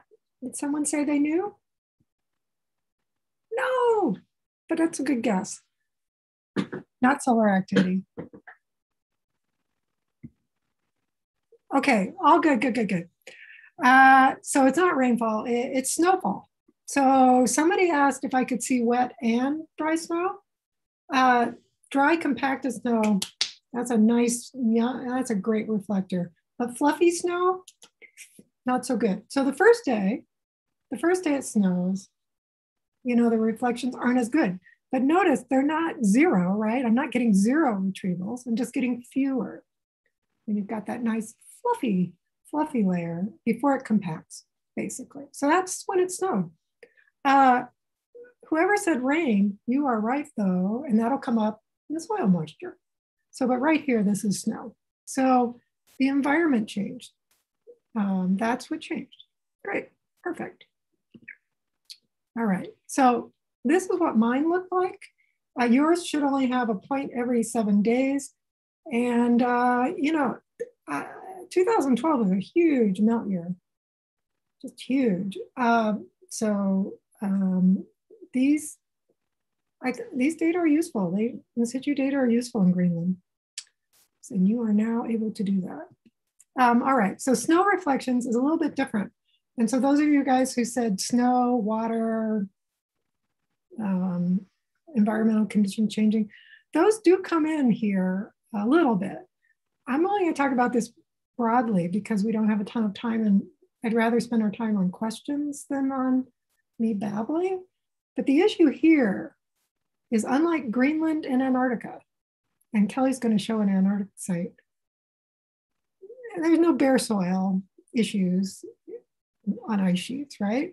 But here I'm going to compare, I want to know snow depth and snow water equivalent. So I kind of have to have a place to start. And that place to start is bare soil, right? I mean, you want it, what was the answer when there was no snow? And then you compare to that. I mean, that's effectively what you're doing. But to do that, you really need to know what the dielectric constant is, per bare soil and what it is for snow and how that might cause a bias. And so we have one model in here, but you know, I'm not saying you couldn't, you know, improve it slightly. Second issue would be, is it really bare soil? Because vegetation affects things too, right? So if it snowed when there was a lot of green vegetation, that would be different than if it was on dead vegetation, right? And I used to feel pretty guilty about, you know, my vegetation problems until I visited somebody in Alaska and they told me they went and cut the vegetation around from their sensors. So, you know, we all do different things. I worry.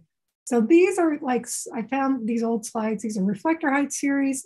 Uh, I, I'm showing it upside down. You know, this is bare soil here is about two meters. This is snow, snow, snow. It melts, slowly melts, then it's back to where it started, right?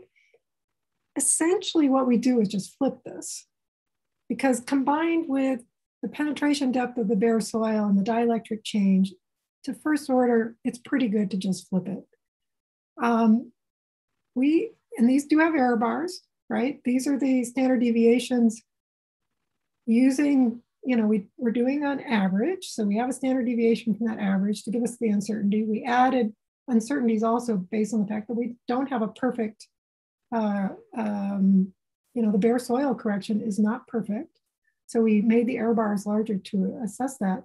The other thing that a lot of people didn't realize about PBO2O was that we absolutely gave up measuring snow depths less than five centimeters. Absolutely. We, if it was below five centimeters, we set it to nothing, but it wasn't because we weren't, it's because we didn't think we could do it accurately. It's very hard to measure two centimeters of snow with this method. If your goal in life is to measure two centimeters of snow, you should get another sensor because there are lots of things that affect the signal at that level. Vegetation affects the signal at that level, for example. So anyway, that's kind of what we do. Uh, if you're interested in how we came up with our ideas of how accurate our method is, I really point you to what Jim McCreight and Eric Small did. They were in charge of the validation efforts.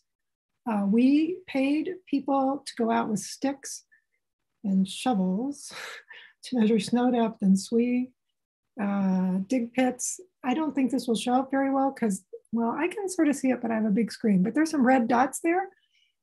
The black dots are what PBOH2O made. The red dots are a human measuring transects of snow depth and in some cases SWE for all those sites, right? Throughout different points of winter. Um, these were sites that had relatively large amounts of snow. Most of PBO sites didn't, right?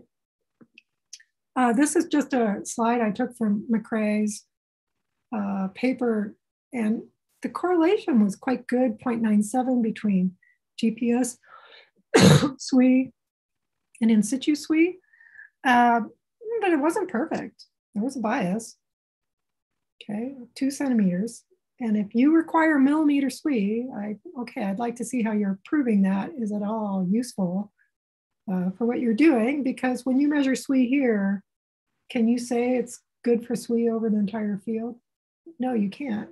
So you have to be careful when you come up with these statistics and, and worry about millimeters when you in fact aren't measuring over a larger area that's more relevant for the people that are going to use your data. So we were planning to add the SWE code next year. We have the snow depth code already. And then my second example, and then I'll stop. So the first example, uh, again, was GLS1. Now I'm talking about seasonal snow. I was going to show you uh, Coldfoot, Alaska. Uh, that's what it looks like. It was one of the PBO sites. It's uh, apparently on the road from Fairbanks to Barrow, I think is what I found out when I visited Fairbanks. Um, I don't know, looked like it had a nice empty field around it to me. Um, know, there's the Google Earth image. Sure looked like nice planar surfaces. I don't see big rocks. I don't see trees. I don't have the scale bar here, but it, I mean, this, this is just empty. Um, and, you know, we measured snow depth there and SWE over 10 years, right? So we did it. but I will say it was one of the more challenging sites we had. I, I, never really understood why it was so challenging. Uh, but I'm going to show you what I had to do um, if you want to look at this site. Uh, first of all, PBOH2O only used L2C data. It's now much easier to get that data. But back then it was hard to get. Um, it was provided in the one Hertz files for me starting in 2011. And um, we don't need that one Hertz stream. It would just make everything super slow. So I'm going to decimate it. I'm going to download it and decimate it. Now in PBOH2O, we didn't decimate. We didn't know any better. We were using Fortran, so the fact that it took longer didn't really bother us. And it was happening at night, so no one was paying any attention. But now I like things a little faster. So I download the high rate data, but I decimate it and I, I know it's at UNAVCO. And I'm going to pick a day like October 1st and, sep- and January 30th. So one is going to be bare soil, probably. I also learned in Alaska, you can't assume there's no snow at that point, but we'll go crazy. And uh, we'll try January 30th. Um, this is what you get for bare soil. Uh, gray means the periodogram means you're not getting good retrievals, right? Color is good in my scheme of life. Um, this is uh, L2C. I don't know about you, but I think L2C is better. so if you ask me why I use L2C, this is why. So again, let's look at L1, which is more broadly available on more satellites. Uh, in fall, it looked pretty good. And it was these southern azimuths, right? from like 90 to 270 or 100 to 250. Um, winter's okay, but everything's a little bit, the quality's a little lower. Um, these blue dots are a little bit below the line where you look close, well, it just means there's some snow on the ground. I didn't pick a particularly high snow depth value. I mean, winter looks okay in the L1 data. But again, L2 is better. What you're seeing here though is there aren't as many satellites, right? Uh, there are 31 L1 satellites and there are 24 L2C. Um, even the places I've thrown out the data actually look pretty good if you're if we're being honest. But that has to do with how we parameterize the data, and we could change that. Uh, it, it, it's actually in that JSON, but we're not using it here. Okay, I'm almost done. So my recommendations, I don't have a time series here, but I just thought I'd show you the steps I would use. I used both L1 and L2C, but only the southern quadrants. Um, I tended to be conservative and I suggest you be conservative too. Even though the retrievals look pretty good in the north, I'd be careful. Before you start posting stuff on your website, you should analyze the whole year and look at it make sure it makes sense. Now it does snow in July and August. So you, I mean, in Alaska, it can snow. But if it slowly snows, that just probably means vegetation is growing, right? So it, it, it's it's the kind of thing that they don't teach you in school. That you need to be skeptical. I also just remind you, bare soil tends to be a much better reflector than snow. A lot of that has to do with smoothness. Snow is not necessarily as smooth as um, bare soil. And it also depends if people are driving around your site in snow. Okay, so that might be another thing. Uh, and then when is bare soil for Alaska? I mean, we had PBOH2O working really well for the Western US. Then we added Alaska, and that just meant we had to have a different flag because bare soil in Alaska is August. Western US, it's September. So in Colorado, I don't have to worry about snow at the PBO sites, a lot of snow, but I had to in Alaska. So just, you got to take these things into account. And then what happens in summer? So I really wanted to try and measure soil moisture here. It looks to me like nice flat soil. I never could get it to work. And in fact, I had trouble even getting snowed depth sometimes. Uh, it was like there was some noise in the data I couldn't identify. And, you know, it's surrounded by RVs and cars. Now, this is summer, but, you know, people drive on that road in the winter too. So, anyway, um, my message here is if you're going to use other people's sites, sometimes, not always, you have to, to know a little bit about the site. because on the map, I didn't realize this was like, you know, RV heaven. So um, I think that's, I think that's my last site, uh, my last, oh, good, I'm done. So I'm going to exit that. I'm going to stop. well, maybe I won't stop sharing in case there are questions. so should we maybe let's wait? There's a lot of big truck traffic. Yes, I know that now. Thank you, Ken Austin. Actually, when I was in Fairbanks for to amuse my, I, you know, I asked during my seminar how many people been to Coldfoot, and I swear to God, half the audience had been there, maybe two thirds. I knew it's crazy. All right, so I think what we're going to do is we're going to let Kelly go, and then we'll take questions together, and then we will take a 15 minute break. Okay, so I'm going to say stop sharing. Um, and um, Kelly has done the Jupyter Notebook um, port, and she has, I've learned a lot from working with her. Um, I like that we're able to provide both. Um, there are different ways of interacting with the software. And uh, so I will just let Kelly talk. Perfect, thank you. Um, so I am going to go through a couple of the use cases using the Jupyter Notebook implementation that we've used with Kristine's code. So I will just set this up in a second.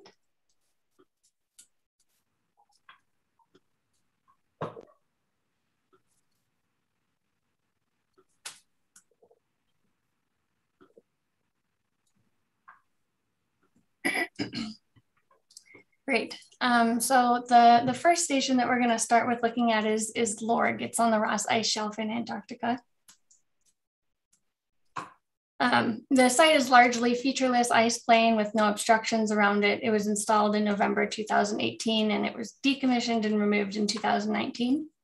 Um, it only recorded GPS frequencies during its operation.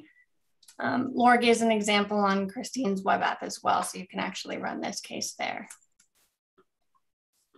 So the first thing that we would do with the Jupyter Notebook implementation is to um, import the required packages that we have. So the notebooks also include a couple of helpers to help you check your environment variables and also download the required executable for the code as well, which many of you saw in the homeworks. Uh, and just a, a, quick comment about the piece of code here that looks a little bit monstrous. Um, I'm just creating a function that does the plots, makes them just a little bit bigger and easier to read for this demonstration, but they're not actually required to run the code. Um, since there is a parameter in Kristine's code that allows you to uh, print the plots out so that you don't have to do any plotting. So it's pretty Python new friendly. So the first thing that you do is downloading the SNR file. We're going to choose the day 205 in the year 2019 to look at. Um, we're also here going to save the lat, long, and height information that we'll use for the analysis later on. And then here running the RINEX SNR. Normally you will see a success down here, but I've run all of these ahead of time so that we don't have to wait for the files to download just for the purpose of the demonstration. So the next thing we'll do is use QuickLook to produce these periodograms. Um, the default is L1.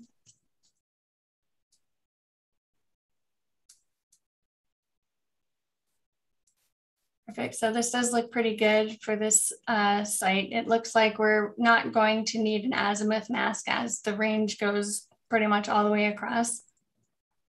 Um, because we know that there's no significant topographic features near the station, um, we're just going to use the default values for elevation mask and we're not going to apply an azimuth mask as well. So then we can compare the periodograms for the other frequencies. In this case, we can look at L2C and L5. Uh, just another note for the functions that we can call here in the Jupyter notebooks. If you ever want to look at what the function does or what the parameters are or the defaults, you can add a question mark to the end of the function. This will print out what the function's parameters are. It has the default values and you can also read the docstring, which has some explanations as to what the values you can put here. Can so we, in this case, yep. I was just going to say, uh, could could you show your, I don't know, the, yeah, the reflector height, peak to noise, amplitude? That just, I was just going to point out just something. Do you see how between 300 and 350, the amplitudes have gone down? Does that, do you see how they've gone down? But do you see how her reflector height values are very consistent? And these are being flagged as good retrievals, which I think they are. So I just wanted to, if you could go back and show them the picture though. I mean, so the GPS antenna is somewhere on there. I'd have to even look. So this wasn't like this had no crap around it. It did have crap around it. And I think possibly one of the reasons the amplitudes went down there is simply because there's crap. So, right. I, so the so the nice thing about the plot she's showing you is she can give you an idea of the azimuth changes. And yet, even when there is lower amplitude retrievals, you still get these quite nice uh, retrievals in a very you wouldn't think Antarctica would be filled with um, clutter, but mm-hmm. sometimes it is. Okay, I just wanted to show people the picture. Yeah, and hopefully no airplanes parked next. next no, no airplanes. Great. Um, so I guess where was I? Yes. Uh, so with a quick look, just uh, as a reminder, if you ever forget what the different values are that we have for um, switching the frequencies, you can always take a look here. So if we want to look at L2C, we'll set our F value to 20 and for L5, we'll set F to five, which we'll see here.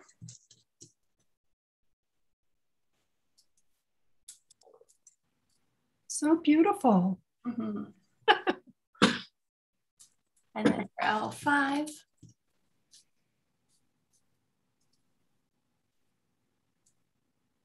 They do look pretty good. As Kristine mentioned before, these ones, you can see that there's, you know, less satellite tracks because these uh, L2C and L5 were uh, implemented with the station, uh, the satellites later.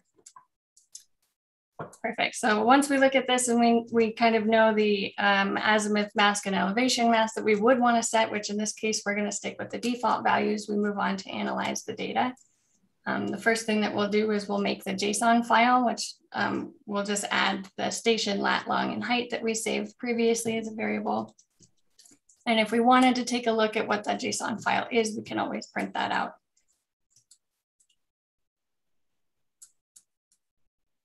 All right, so then next we would be making the SNR files for the time span. In this case, we're gonna choose about eight months.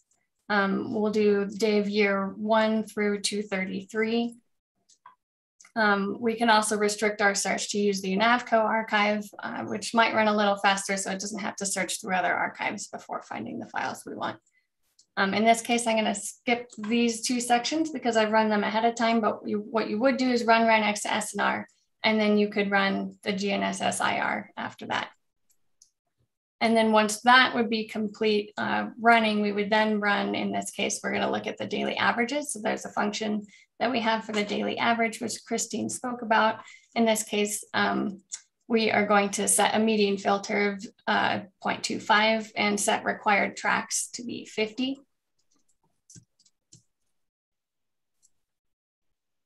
This also does have a uh, plot to screen feature, which we can set to true. So then a bunch of plots will actually spit out for you. So you don't have to do any plotting, but I did use the values that it comes with reading in the files that are saved, which are printed here. Uh, and then we can uh, plot these ourselves if that's something we're interested in doing. So this first plot would be all of the reflector heights. So each color is a day. We could then look at the number of reflector heights that we have used for the daily average for each day, just like the previous plot that Kristine showed. And then the last one we would look at is the actual, the daily average. So these in this reflector heights would then give information about the snow accumulation here at LORG. Um, again, like Christine mentioned, we've reversed the y-axis so that the reflector height gets smaller as the snow layer increases. The distance between the antenna and the snow surface then decreases. so that would be, uh -huh. go ahead. That Kelly has more required tracks. I think I was using, I don't know, 25 or 30 in Greenland. 30. She's using multiple frequencies. So she has more, uh, more data. So she can up that a little bit, which means she can be a little more confident um, of the retrievals. All right, so the next case we're gonna go over um, was the case that Kristine spoke about before, which is Niwot on Niwot Ridge in Colorado. So like um, it was mentioned, Niwot Ridge was originally designed to support GNSS, excuse me, GPS reflections research. Um, the site was hosted at Niwot Ridge LTER, which is very useful because we can get in situ data, which is the pole next to it. Um, the site itself is uh, three meters above the bare soil surface, which is good. And it's also good to know that it tracked L2C, so we can take a look at that as well with a quick look.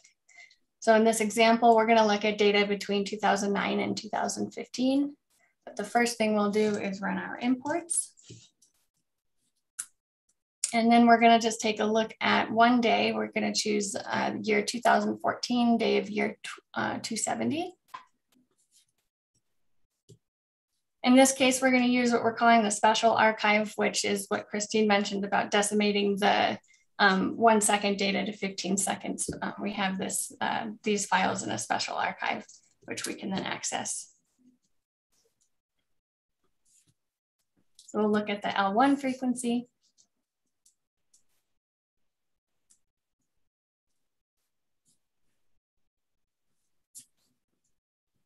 So these um, do look a little bit busy in the low reflector height area, but we do are we are seeing some pretty strong peaks in uh, some of the southern uh, quadrants or a few of the quadrants. We can look at the metrics as well. And here we can see already that there may be some azimuth ranges that we could remove once we do the analysis. So if we want to look at the L2 frequency, we'd set F to 2, which is different than setting F to 20, which is just L2C. So this will be uh, L2, including L2C. But we are seeing a lot of failed tracks down at the bottoms of these periodograms. Did so looking at more that I'm sorry, Kelly, did you tell them what causing those gray ones down at the bottom? No, yeah, go ahead.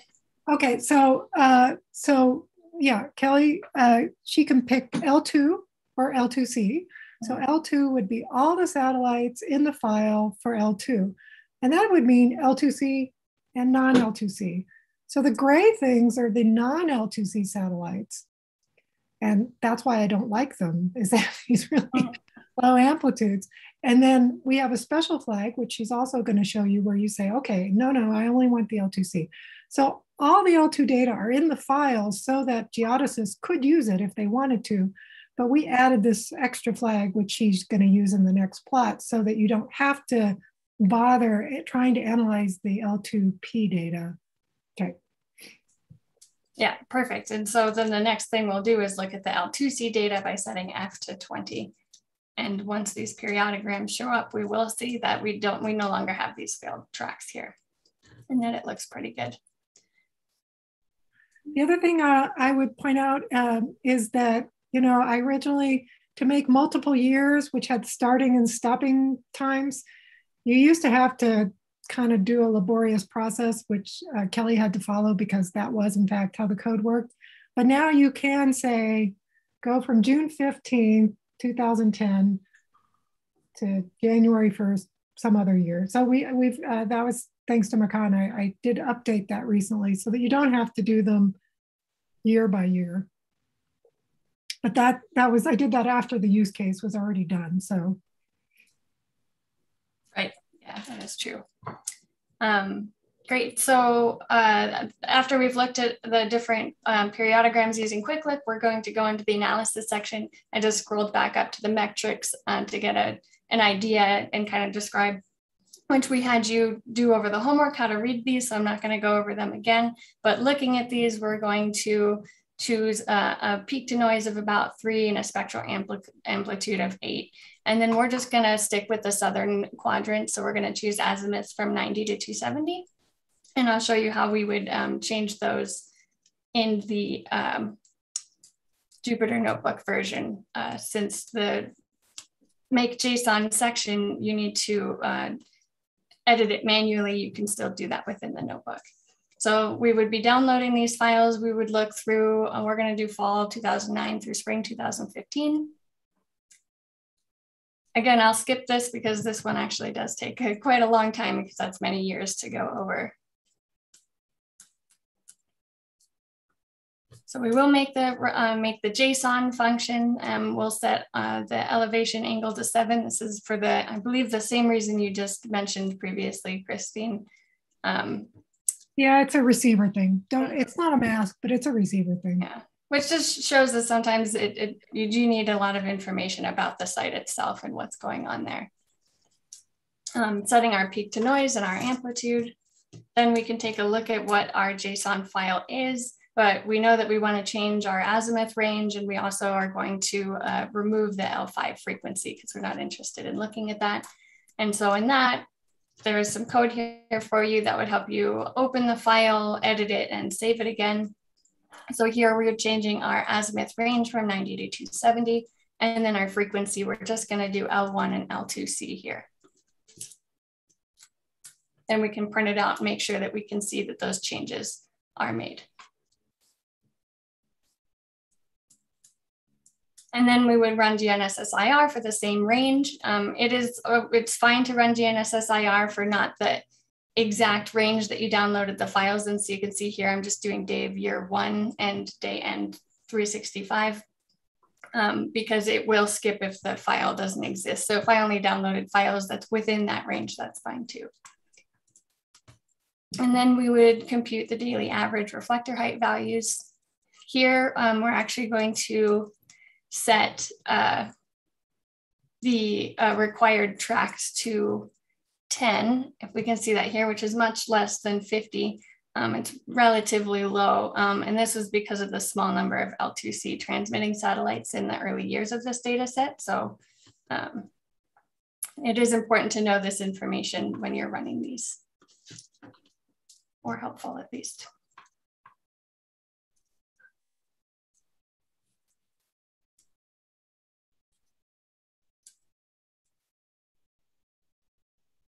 One has a lot of data, so it takes just a second. It does print out again where the files are, and then we can read those files and plot them. So these would be all of the total reflector heights. Then we can also look at the average number that they use for the daily average of the reflector heights. And then we can also print out the daily average. So pretty. So um, because, uh, as was mentioned, the site does have in situ data, um, we'll compare that to what's called pole 16, which is the pole that you can see in the image.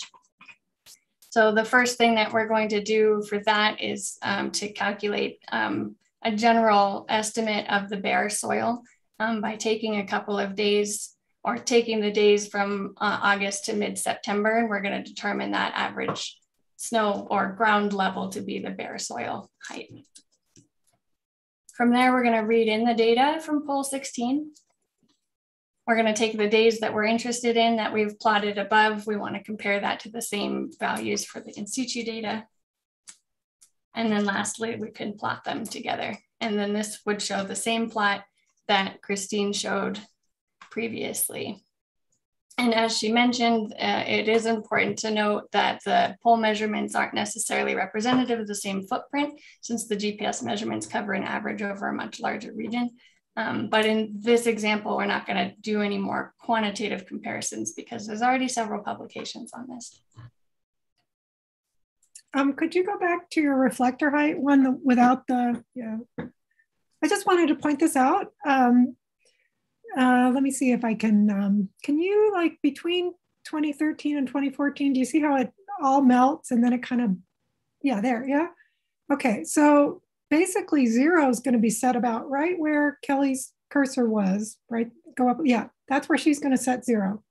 And do you see how there are some, you know, pretty consistent points below that?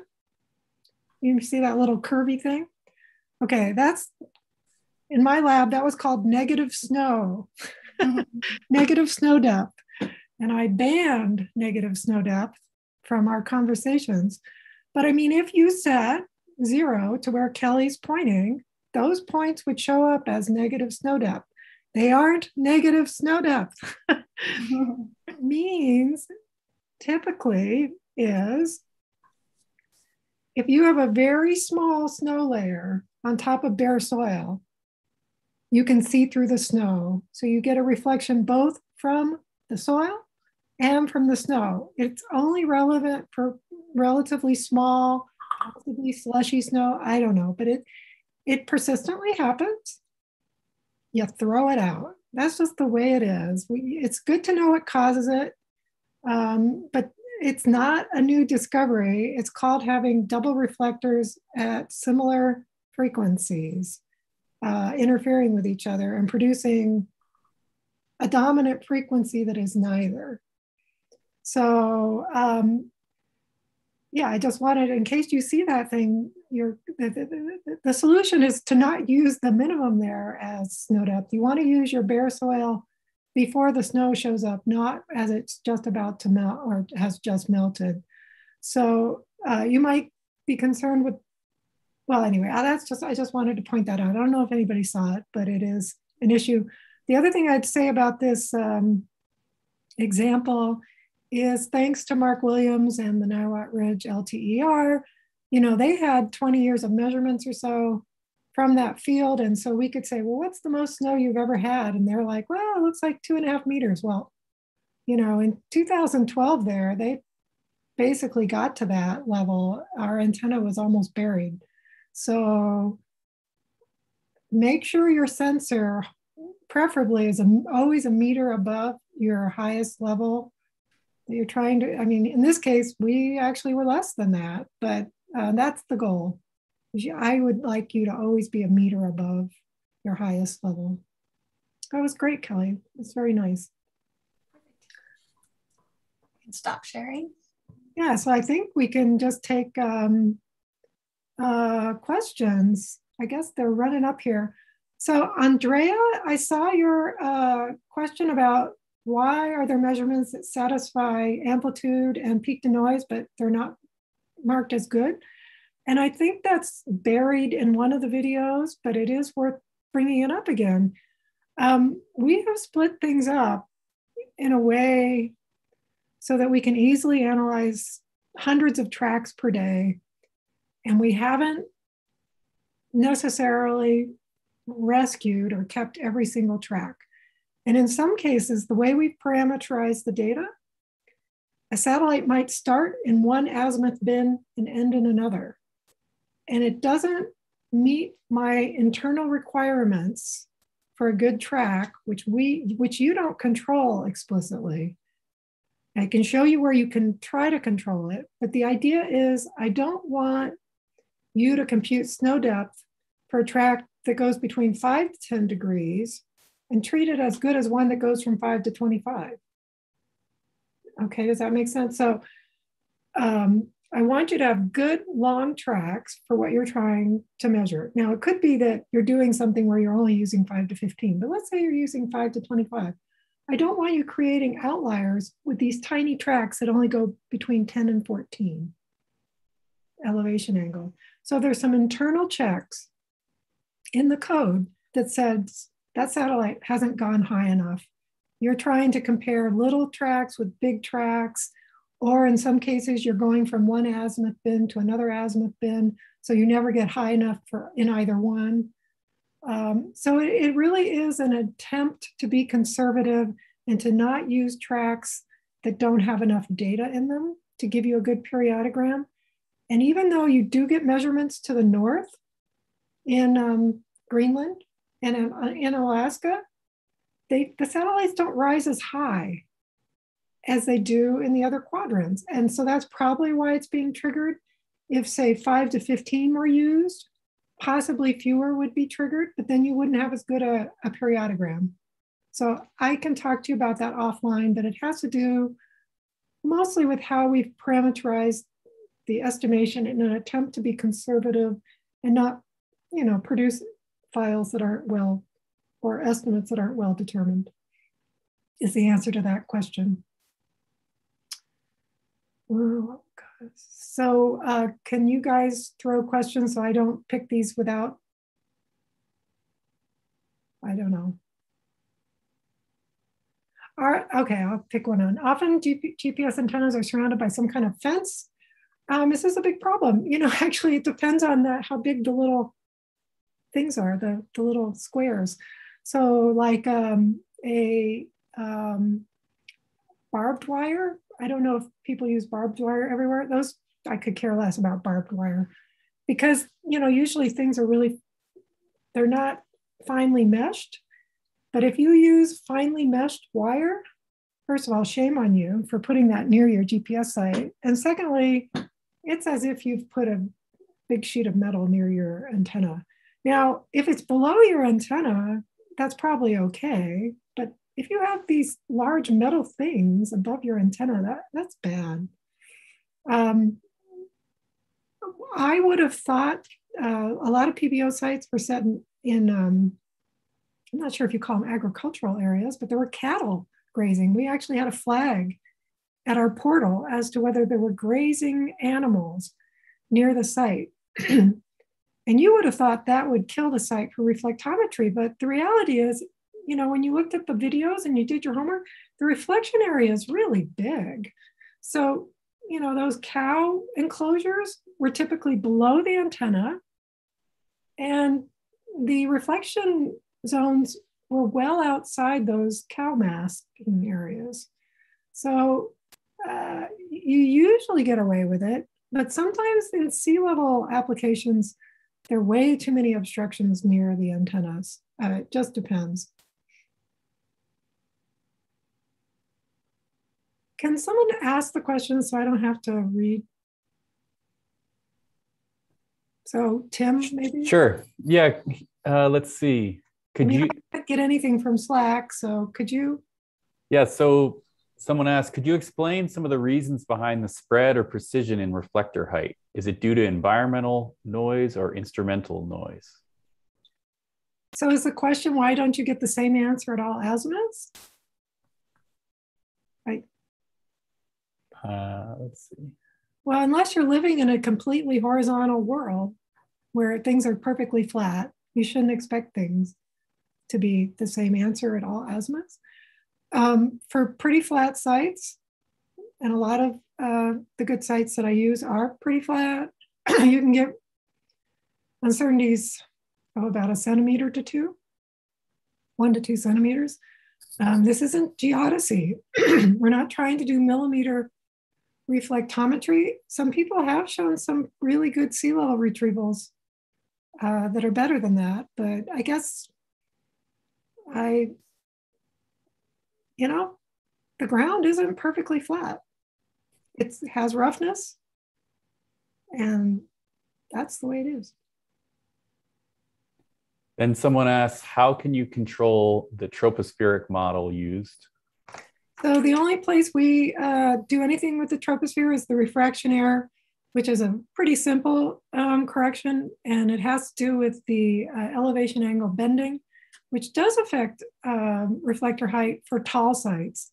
It's almost nothing for two meter sites. So for the snow people, this is really irrelevant.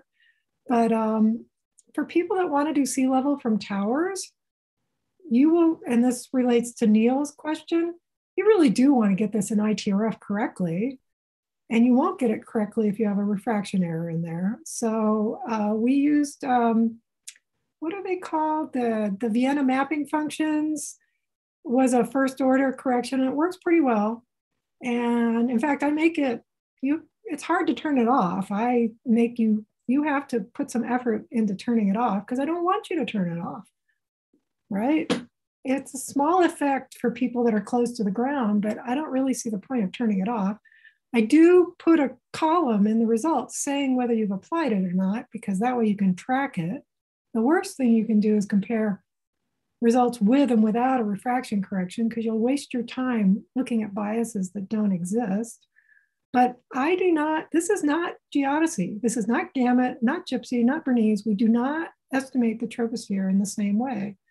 We don't use their corrections. We don't, what we use is the information that went into building those mapping functions by the Vienna group.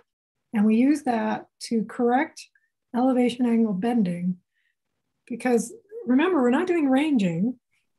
So the reason the refraction correction is such a big deal for geodesy is it causes a change in the range and it has an elevation angle dependence. Remember, we have an observable that affects everything identically up until that little reflection, right? I mean, it causes a beating, but does it cause a huge difference in the range? No. And that's why you get away with doing very little for short sites. I'm not saying you shouldn't always correct it, you should. And I would be happy to include other refraction corrections if people would provide them to me in Python in a way that they can be used easily. I'd be happy to add that. see, someone asks, can this software be expanded into the GLONASS FDMA signal? Is there any caveat of applying this SNR method onto the FDMA signals?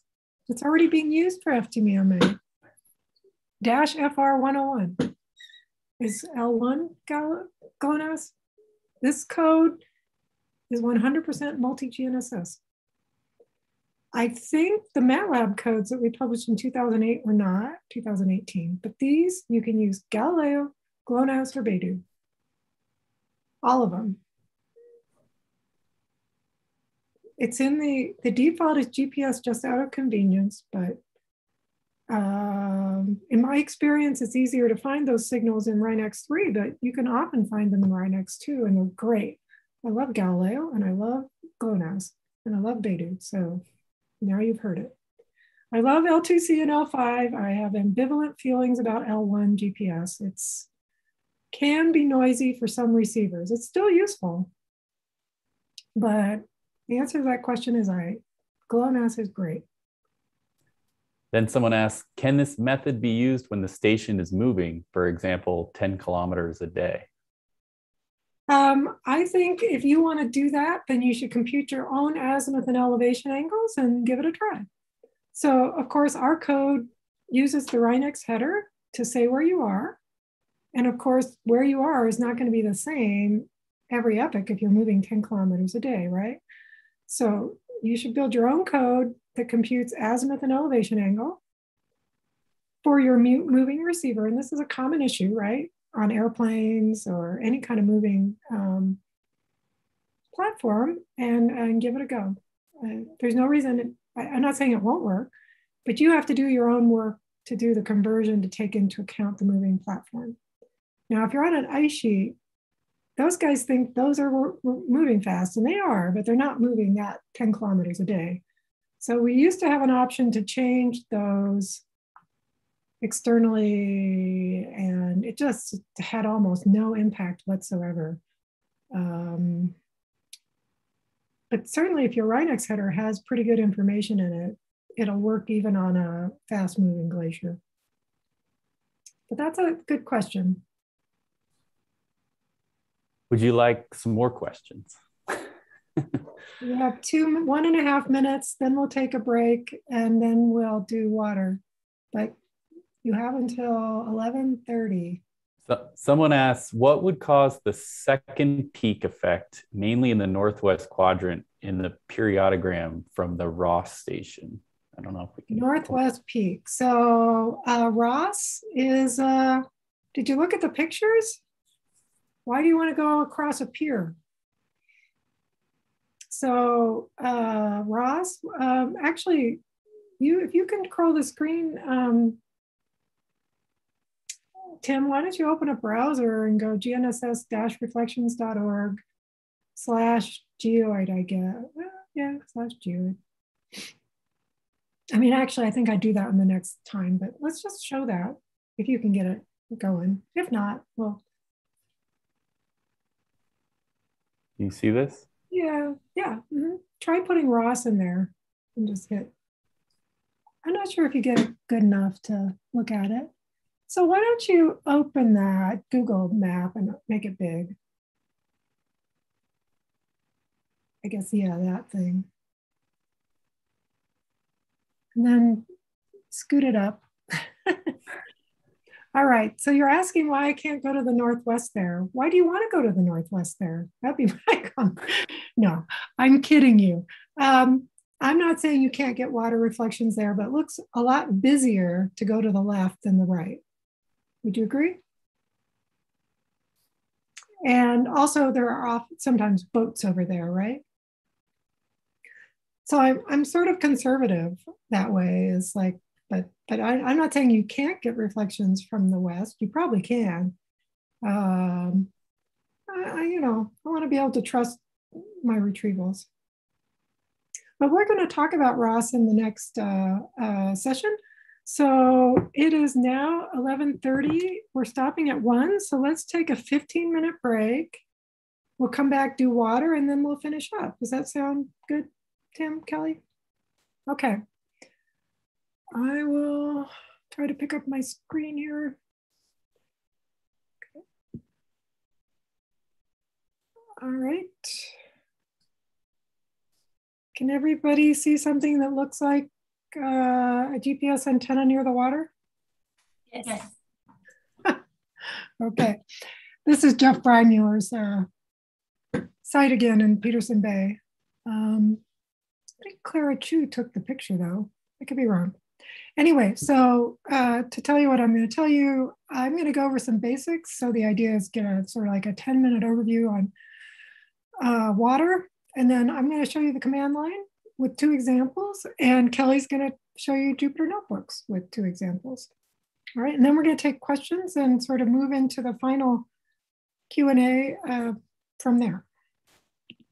All right, so I, I found this lovely plot somewhere. Where did I get this? I don't know. It's meant to convey that measuring sea level is complicated. Measuring sea level in a datum with respect to a well-defined reference frame is difficult.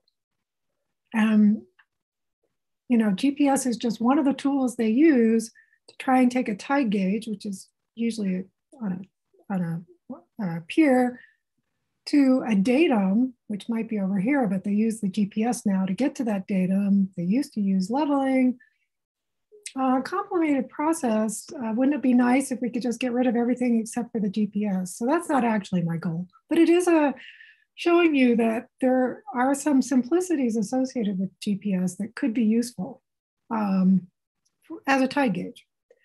I'm not actually a big uh, promoter of replacing tide gauges. I look at it more as an opportunity to add more tide gauges. So not saying get rid of the ones you have, all right, so the pluses of a tide gauge using GNSS, as Neil's question in the first section, it's defined in ITRF. You have to do a phase center correction, but uh, the reflection part can be added to the positioning part. Um, a good friend of mine said it's a plus to have no moving parts in salty water, so let's give it that. It, in that regard, it could be a niche tide gauges for polar regions. Now, it can be far from shore that's don't be crazy. It can't be too far. Uh, you have to be able to see the reflections. Uh, you could use a cheap sensor. Uh, there's been quite a few studies that show that those work very well. And we haven't talked about it here. We have no model in our current code, but you can do significant wave height uh, with GPS as well. So the negatives are, I don't like high winds. I just threw this number out here, but I don't. Don't. Uh, Kelly has an example where it was very windy at TGHO one day. Uh, you can use a GPS tide gauge in high-ish winds, but when it gets crazy, you can't. Um, I would say it doesn't work in busy environments, and busy means buildings and boats and stuff like that. So, you know, be sensible if you set out a new site. Um, I think one of the negatives is it's new and people don't want to do new things. I think that's just the way it is. Um, and I, I think that despite the fact that there are many useful sites, um, there are many non-useful sites and you're just gonna have to accept that. Um, they'll never work. So at first glance, this is as an acceptable site, uh, but I can look at it and say it's too far from the shore. And you could say, how can you know that? Well, I've looked at hundreds of photographs of unsuccessful sites.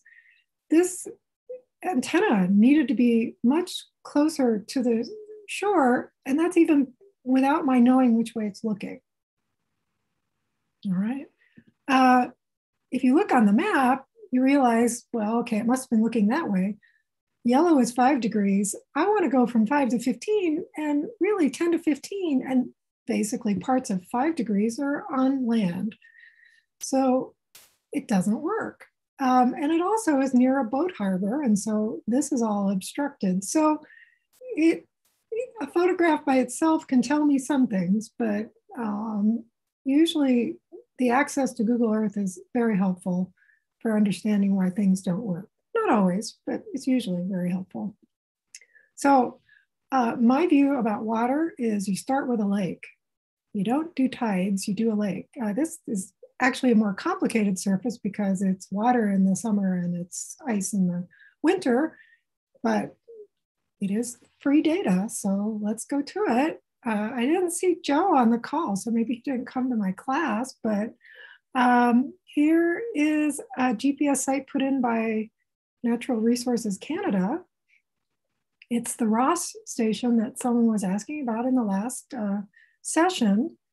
Uh, you can use my Geoid app to both find out, oh, I don't know, you, to get your Google map. Uh, here's the reflection zone mapping part. I played with it a little. Now remember, you can't use mean sea level for an interior lake as your reflector height because this site is quite high. You want to know how high it is above the water. That's the more important thing. Um, this is what I ended up using. Uh, I just don't see this as very attractive over here. Uh, I don't know what that is, but it, I don't like it. Um, I'm, I'm worried about the yellow regions over here, um, but you know, this is my first cut using 5, 10, and 15 degrees. For these azimuths, it sure looks like things are parking there and we don't want to be, uh, be obstructed by those. So these are um, my, I translated a file and then I use Quick Look and uh, reflector height is on the x-axis. And I uh, see that I get some nice, oh, this uh, looks quite, sorry, it's quite nice here in the southeast. So the quadrant I kind of showed you. Um, yeah, this looks a little dicey. You know, maybe maybe I could get into the, uh, you know, that quadrant a little bit, but I'm probably going to stick with this quadrant. So uh, we also get this plot where we have azimuth on the x-axis, peak to noise. Here it's kind of fallen down uh, in terms of the peak to noise, suggesting it's very noisy. In fact, those are quite low values. Um, this looks pretty darn good. Now, there might be some places where uh, I should have gotten a retrieval and didn't, but uh, you can play with, for example, the peak to noise a little bit if you want. Uh, I am only using L1 at this site because that's the only useful one I consider to be useful. I'm using elevation angle range 5 and 15 when I make my JSON. I hand edited the uh, azimuths and analyzed a year of data. Then I used daily average. Uh, I don't have the plot here. And here's my take home message. This is tracking signals that were developed in the 1970s, and that's it. So I suggest they track L2C, L5. Uh, I know that L5 can be complicated if you don't have a new antenna but there's no reason to not be tracking L2C. And I don't, I don't, I, I looked, it seems to be capable of, tracking the other net, the other constellations, but that's really up to the people that own the site. Uh, Friday Harbor, you know, it's a lot of papers have been written about it. It's not actually that great a site. It is obstructed by this island in, in most directions. It looks like it's right over the water, but I assure you it's not. It's, it's actually set back a little bit, which is unfortunate uh, for me. I mean, maybe it's fine for everybody else. So if it had been a little, a little closer, uh, we could get more elevation angle range. I usually don't go above 13 degrees at this site.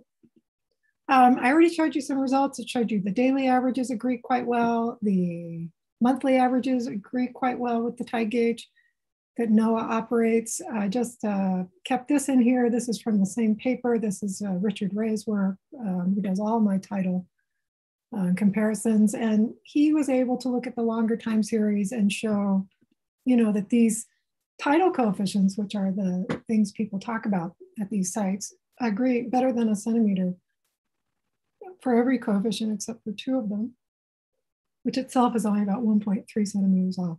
So this was using only L1. It was a 10 year comparison, but at that time, that receiver was primarily uh, running L1. It had a little bit of L2C, but you know, the satellites at that point were being launched routinely, and I was worried about possible errors from that uh, variability. So I just used L1, but even then, we still got excellent results. Uh, what if I look at the new data from that site? So that paper is old, very old. I think it used 2006 through 2016 or something like that. Now there's a modern receiver there. It's great. It tracks everything, uh, everything I want. And uh, I picked it up for January 15th of this year, just randomly picked that. I'm going to try quick look with the defaults. and you can see that a lot of gray, a lot of gray, right? Well, what are the defaults? Remember, the defaults are 5 to 25 degrees. And I said, for the water, I really want to stop at 13. Um, the other thing is, you need to know your tidal range. And it's discussed in the paper in the tidal range here is equivalent to reflector heights between 3 and 7.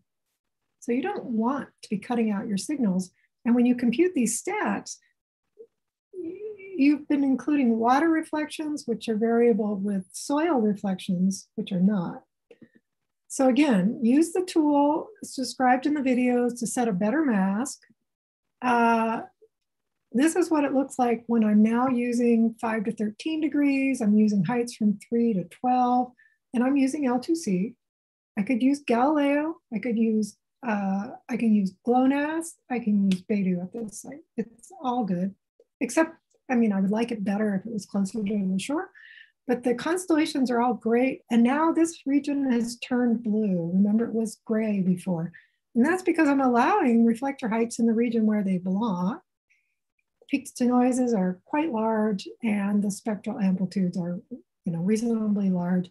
And where they're not, those are being flagged as gray, as no good. So, so that's the good. Much, much better. And people sometimes, uh, well, at least people that are, you know, like let's say they started with snow, where remember those blue dots were just straight across the, the screen. Now there's a lot of scatter in the reflector heights. And this confuses people sometimes. That's the tides, right? Each one of those blue dots has a time associated with it. Now I'm plotting it for azimuth, but I could just as well say three o'clock, four o'clock, seven o'clock, two o'clock. I mean, right? So those are tides. Um, so I want to look at a longer time series. I think I ended up just doing 25 days randomly. We could do more examples on this, but this is what I put up at the time. Um, notice here, I'm saying all frequencies true because this is a, a multi-GNSS site. Um, at this site, I don't know why, but now the 15 second data are multi-GNSS. I think there's no Beidou data in there because it's a um, not compliant with RINEX 2.11, but they have RINEX 3 data there. They have one second data. For this site, I think you can get everything you want. So just as a positive there, but I'm just going to show you these are the results for all the frequencies I use.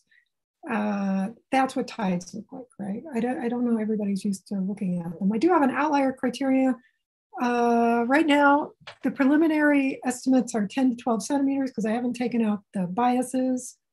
Uh, so I'm using three sigma, so three times 12. Uh, but that can, it's about eight centimeters when you um, clean out the biases and so on. So this is a sort of an, an analog to daily average. It's called subdaily.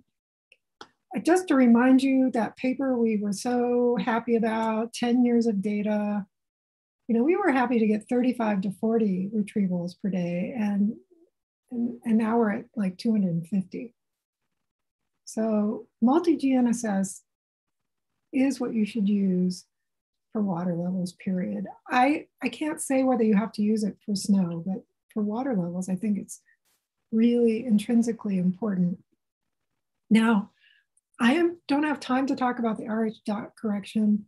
Um, I have put in a simple way to estimate it uh, that I'm going to just not talk about. But the first thing I'm showing here is just a straight out comparison of those individual retrievals with the NOAA gauge. Excellent comparison, 0.99 correlation, that kind of thing.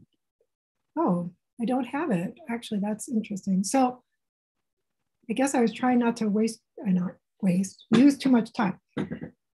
I do have code that computes the RH correction for you. Uh, those of you who know what that is can look uh, closer at the uh, use case.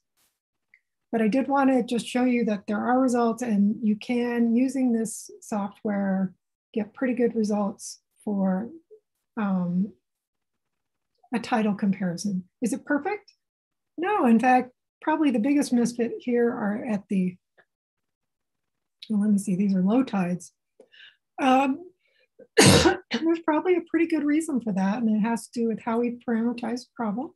And, and we're going to be working on trying to improve that. But again, it's not millimeter, it's centimeters. And uh, Simon Williams is really the expert on this. And I think he's got some sites where you get two or three centimeters, but typically five is your best using this kind of method.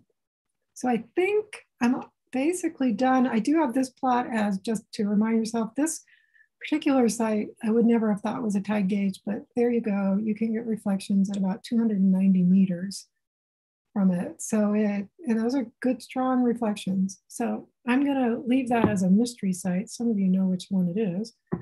And I'm gonna stop and let Kelly um, talk, and then we'll take questions after that.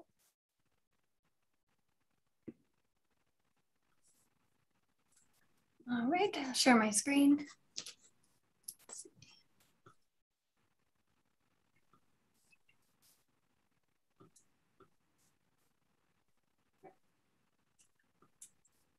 Perfect. All right. So the first case, uh, again, we're going to go over just a couple of use cases. The first one is going to be a lake, and then the second one will be tides. So this one is a lake uh, in New Zealand, Lake Taupo, I think you call it.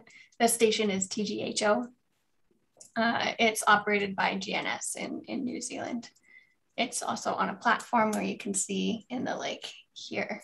It records uh, GPS and GLONASS signals as well, and the sample rates of 30 seconds. First, we'll do our imports. Great, I'm gonna save the lat, long, and height information again. I'm gonna take a, a day of year and year to take a look at with a quick look. Here I'm gonna set the orb to GNSS. So we'll be looking at more than just the GPS. And we're also setting a, an archive that we have for New Zealand archive. So first we'll take a look at the L1 signals.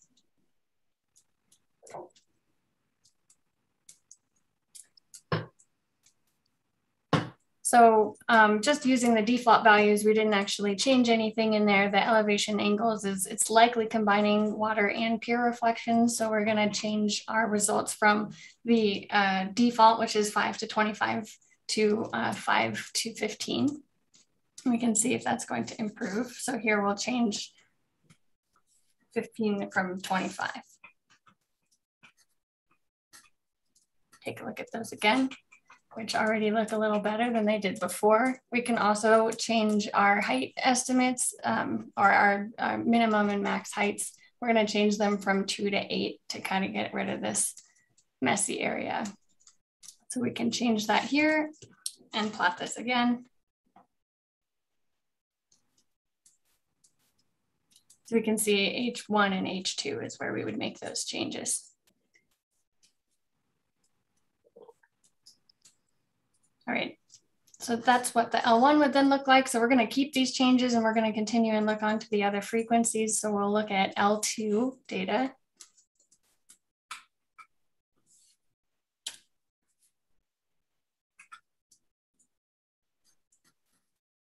which we can see don't look very good. So that tells us that for our analysis, we're gonna remove this from uh, the make JSON file so that we don't use this.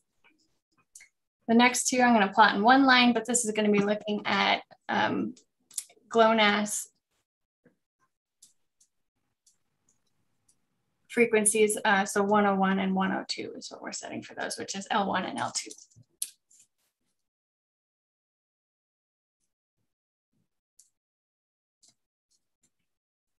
And these look like they have pretty good peaks. So um, one of the other things for the analysis is we're going to exclude the 135 about to 225 degrees in azimuth because um, there's an empty region in there. It's also just a couple of poor retrievals as well that we could get rid of. We're going to require an amplitude of nine and a peak to noise ratio of about three. So uh, doing the analysis, we would then run the RINEX to SNR for the days that we're interested in running.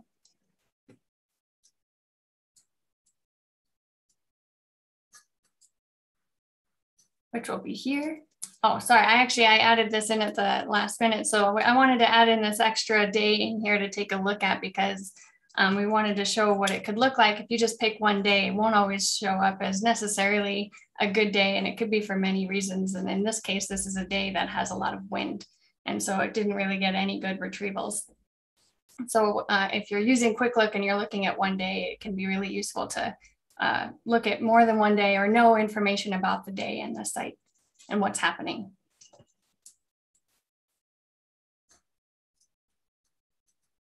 Perfect. So now I'm setting all of the decisions that we made as variables here that I'll pass in to make the JSON file for the analysis.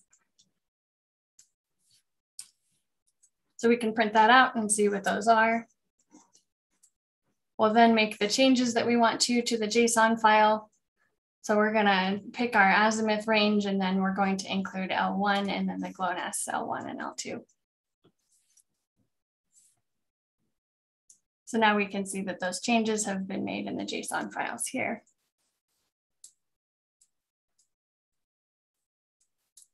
So then we would run the RINEX to SNR and then the GNSSIR, which again, I'll skip because I did them ahead of time. Um, but once those are complete, we can then uh, use our daily average function. We're gonna set the median filter to 0.25. And again, the required tracks for this one will be 50. We'll let that run.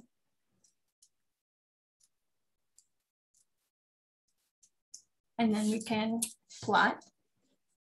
So these would be all of the reflector heights, which again, each color is a day.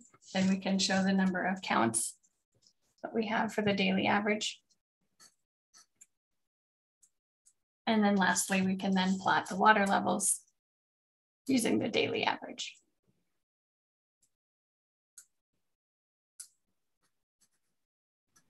All right, so the next case that we're going to go over, unless you had any other comments on that, Kristine. Oh no, I, um, it looked great. Uh, just uh, as a reminder, um, Kelly showed you the number of retrievals per day, and the screen also printed out not enough retrievals, not enough retrievals. Um, Here. Uh, when she's not having enough retrievals, that's probably a windy day. That's my only comment. Yeah, so we can actually see, let's see, this is the day that I showed that was a very windy day. And the other uh, comment would just be there's a, a, missing dates in the time final time series she showed. Um, you know, to be honest, there, there might not be any data at all. Uh, this site in particular doesn't necessarily have a, a, a file every day. So that's part of it. But I would encourage you to look at the use case online as Lucas Holden um, from Melbourne has done a paper on this particular data set. I think he looked at 10 years of data and he compared to uh, tide gauges on the shore, uh, which are not tied to ITRF and it, it, it, shows quite the difficulty of using those. So I think if you wanna look at a lake uh, comparison, he's done a really good job and uh, you can look at the paper. It's, I think, uh, it's linked to the use case. And um, yeah, so all of these use cases are up on Kristine's uh, GitHub account on in Markdown files, the Jupyter notebooks. I'm also going to be posting these if you want to run through them yourself uh, after the course today.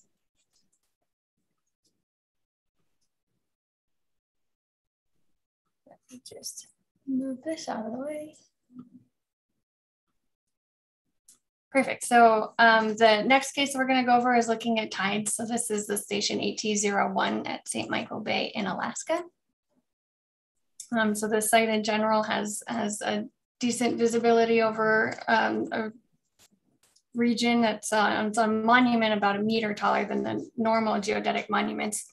Um, and it also, that helps improve the visibility out to the ocean, which is great. AT01 does observe all constellation signals, so we will be using several of them as we go through. So just importing again. So in this case, uh, I'm going to take a look at and show you, um, so this is Kristine's web app that we can pull up in the Jupyter Notebook. If I type the station in here, we can actually take a look at it, um, which is nice. So I can grab the lat long and height from here if I wanted to. Also be able to look at the pier. So just from looking at this, we're gonna guess that we're probably gonna remove the Northwest section um, but we will be able to confirm that with the QC once we go through quick look. We can also look at the reflection zones here and play with them if we want to. So if I submitted that with the station, we can see these zones that uh, Kristine was, was showing previously and we can make changes to it. So if I wanted to change this to say 240 and see what that would look like for the station, then we can see what that would look like. So this is a really useful tool for trying to figure out your initial uh, assumptions. Um, also, one thing to note with this one is that since we aren't measuring at sea level, it's good to note that this uh, station is 12 meters above sea level. So first we'll run RINEX to SNR. We're gonna choose day of year 109 for the year 2020. And then we're gonna look at L1. And we're not gonna change any of the defaults initially.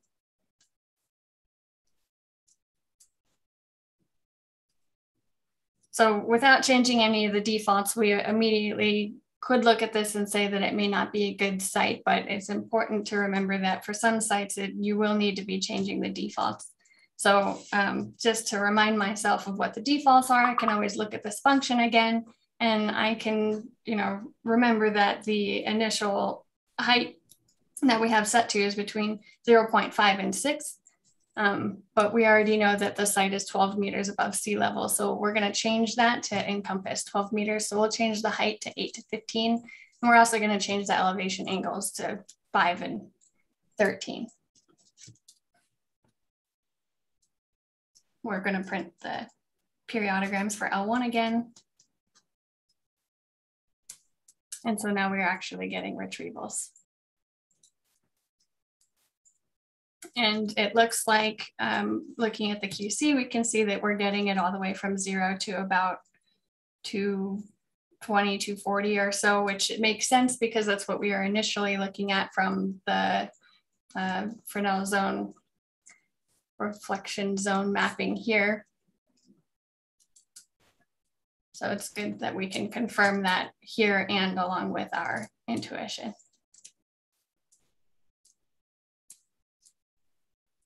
Next we'll look at L2C, where we set F to 20.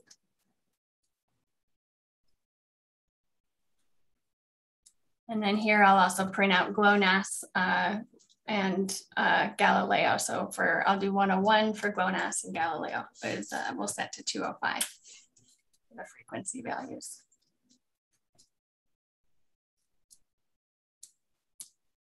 So this is GLONASS. And then this one will be Galileo. So moving on to analyzing the data, um, we're going to analyze for about two months in the fall of 2020. So we set day of year 230 to the day of year end at 290. We're going to set the orb to GNSS since we do want to use those and the archive to UNAVCO as well. And then we're going to make our JSON file. Here we set all frequencies to true, just like Kristine mentioned previously.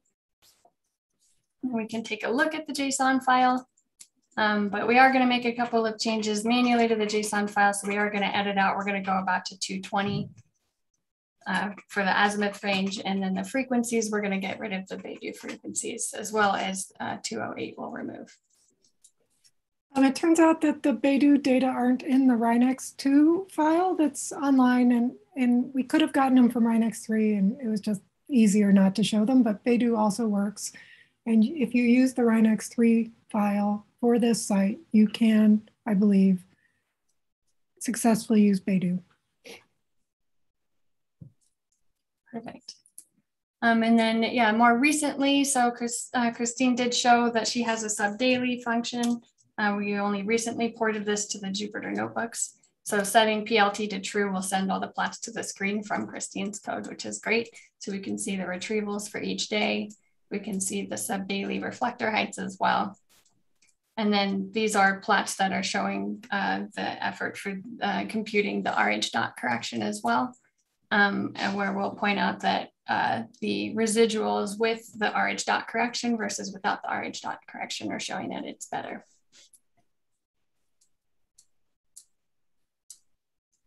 And then it also prints out some values for you as well and uh, saves the file and it'll show where the files are so that you can work with that data.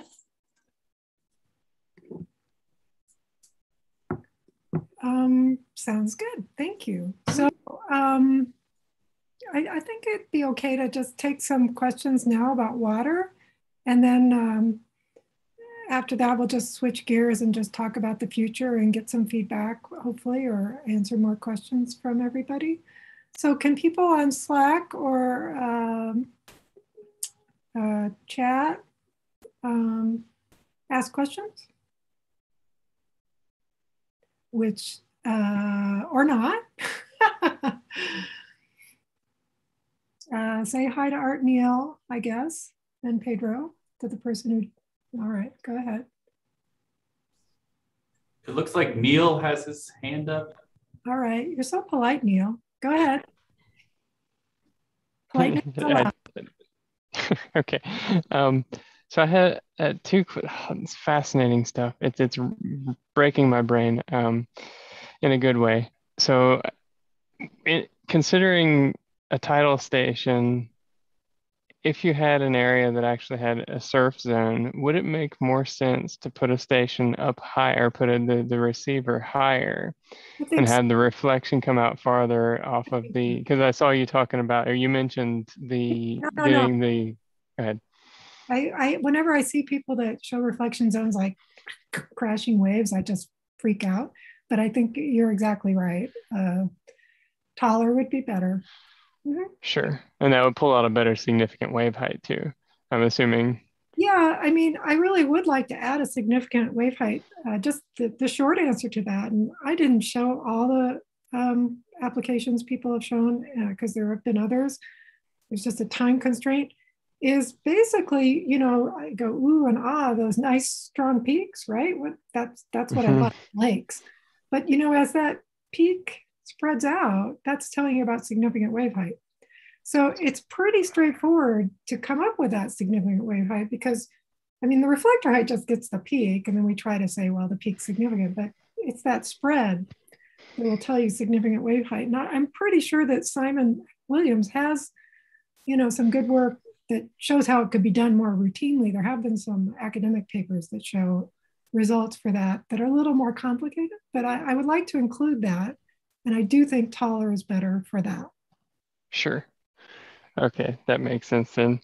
So on, uh, I'll, I'll be respectful and quick with my other couple technical ones. Um, uh, so I have one station I happen to be looking at. It has a not great coverage. It's the one that you and I had talked about before. That's on the bay side of Assateague Island, and it, it's to the north. Is its section? Is its reflection zone?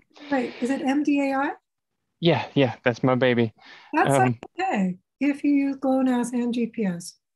Okay, but the the thing I ran into on the on the tool was trying to put a reflection zone, and and it's probably it's probable that I just didn't entirely understand it, but its its zone would have been ideally somewhere like 350 degrees to 45 degrees or something minus. like that. So use minus. So use minus 20 to.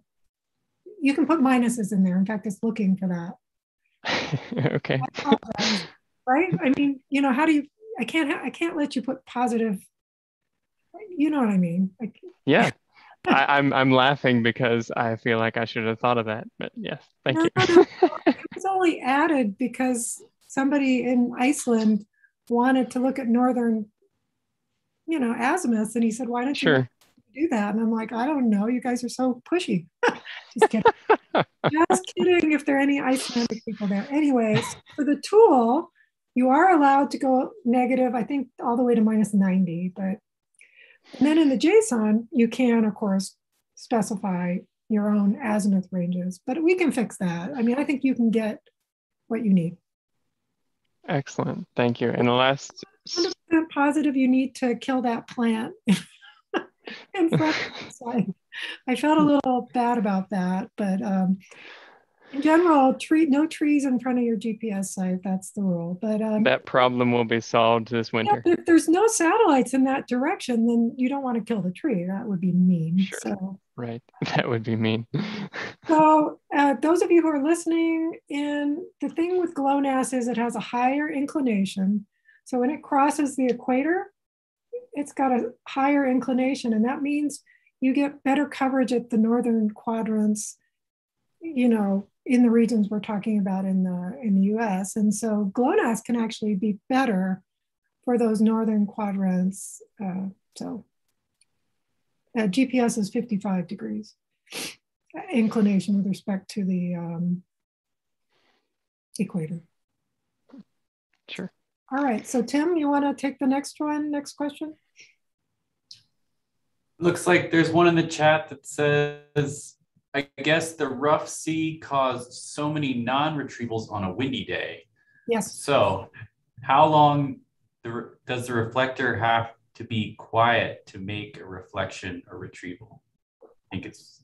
Um, most of the reflections, uh, I, it's in the result files, but uh, typical 15, 20 minutes uh, is a typical value. Um, 15 to 20, but if it's windy, sometimes it's windy the whole day. I mean, so um, if you, yeah. And then someone asks, I would like to know your assumptions on GNSS-IR applications from non-MEO orbit GNS satellites. For example, some Beidou geo geostationary or QZSS IGSO. So the question is basically, can you, so, so GPS, GNSS, Galileo, GLONASS satellites all have about 12 hour orbits. So satellites rise and set. And remember, it's that rising and setting that create the interference pattern that we use to estimate the frequency, which gives us reflector height. So if you are going to try to use a geostationary satellite, there ain't no rising and there ain't no beating pattern and you don't get reflector height. So my, no, I, you know, maybe I'm wrong, but that's not the future. I mean, something we're not talking about here is doing reflections from space. And there's some really cool, very cool results uh, using reflections from that have been uh, uh, observed using a satellite. And that's a different game. But uh, for ground-based, I don't really see a future in using those uh, geostationary satellites. But I, you could prove me wrong, but I don't think so. And oh, we just got one more. Could you comment on why some receivers are better than others for the purpose of GNSS-IR? Is it related to the data they record? I, you know, I've heard two theories, and these were actually from receiver manufacturers that I will not out. Um, sure, L, the L1 signal is different than the L2C or L5 signals. Absolutely true. There are some issues with interference issues because it's a coarse, right? It's a coarse acquisition card. Uh, people talked about that a lot, and that's why the L1 was noisier than uh, L2C. we know why L2P is bad. That's not an issue. We know why. Um, so I got, you know, I, uh, people talk about this all the time, but then a new receiver manufacturer produces beautiful L1 SNR data and it's the same L1 signal, right? So that makes sense. So why? And the reason why was also promoted by a receiver manufacturer. He just said, you know, when L2C was created, uh, we wrote a new SNR estimator for our receivers for it. Like we wrote new code. so, so theory number two is you check to see how recently the receiver manufacturer wrote the code being used to create the SNR data stream. Because after all, it isn't what they sell to people. They're selling the phase and pseudo range data. That's what they get paid for. The SNR data is important, but I'm the only person who uses it, as far as I can tell, and you guys. So they don't care about it too much. And people have asked me who makes bad SNR data, and I won't tell you either on a video or in writing. I will talk to you on the telephone and tell you. But one of the reasons they create bad SNR data isn't this L1 thing I was telling you about. It's because they mixed up the columns when they wrote the RINEX translator. So if you go into the L1 column, you get the L2 SNR data. If you go to the, I, I mean, it's just crap, right? I mean, it's just kind of nonsense crap. So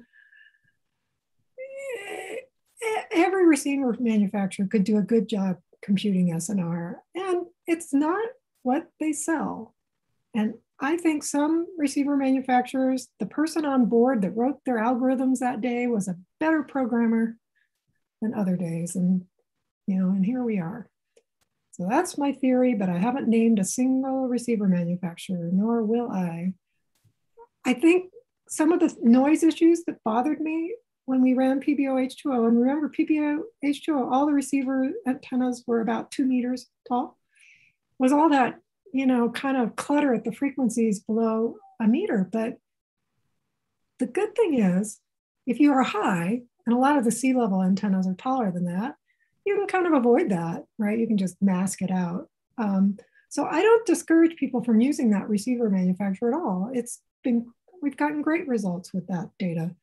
Just be aware that not all noise is created equal. And I've had great results from the GLONASS and Galileo and GPS from many receiver manufacturers. Just, I think only two of them I consider to be not good enough for me. I think that's about it, unless someone or anyone is welcome to raise their hand or just start speaking. Hi, this is Neil again. yeah, I'll see your picture if you're going to be talking. Are you? No, I'm just teasing. You don't have to. I'm I'm, I'm having an ugly day. Um, yeah. Um, the uh, the sub daily plots that were shown. Um, does that take the timing? Because uh, I hadn't, uh, I may, maybe I didn't pay attention to it before, but does it take the timing of when the signal, the reflector height was calculated, and then it reports it that individual time of the day? So it, it's not like it's segmenting the day on the hours. It's actually just putting a timestamp on that. It's UTC. Uh, it's whatever's in the results file.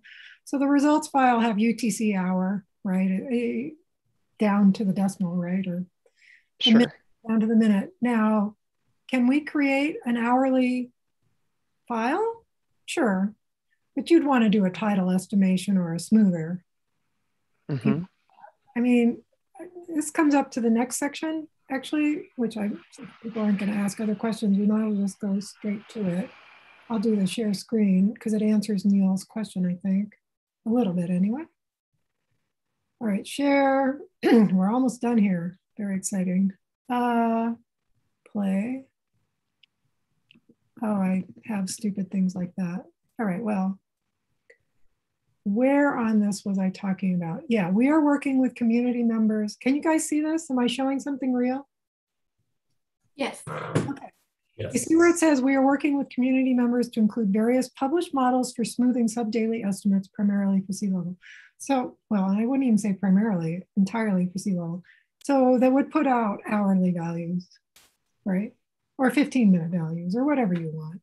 Um, if you're going to go to the process of estimating the reflector height correction, you're going to want a smooth model anyway. It's just very helpful. A lot of tide gauge people don't like that the tide gauge data are when the reflection happen, happens. I'm like, well, all right. so uh, I, I see some value in that. And so we could put out, I don't know that we would put out, well, frankly, if you're smoothing, you can put out a value every six minutes, just like NOAA. But I think you should be judicious in that. You don't, you know, if you have a site that's suboptimal, that only has 10 reflections a day, you don't want to be smooth into that for 24 hours and acting like you've done something profound. So you want to be careful. And uh, I think we'll definitely try to do that for, you know, the people that want a normal looking tide gauge uh, time series. But right now, the subdaily model really concatenates the file and makes an attempt to remove outliers and it uh, does a RH dot correction. It removes frequency biases and things like that. So it's not done by any it's not done. You know, we're year one of a three year grant. So I feel like we've done a ton, but we aren't done.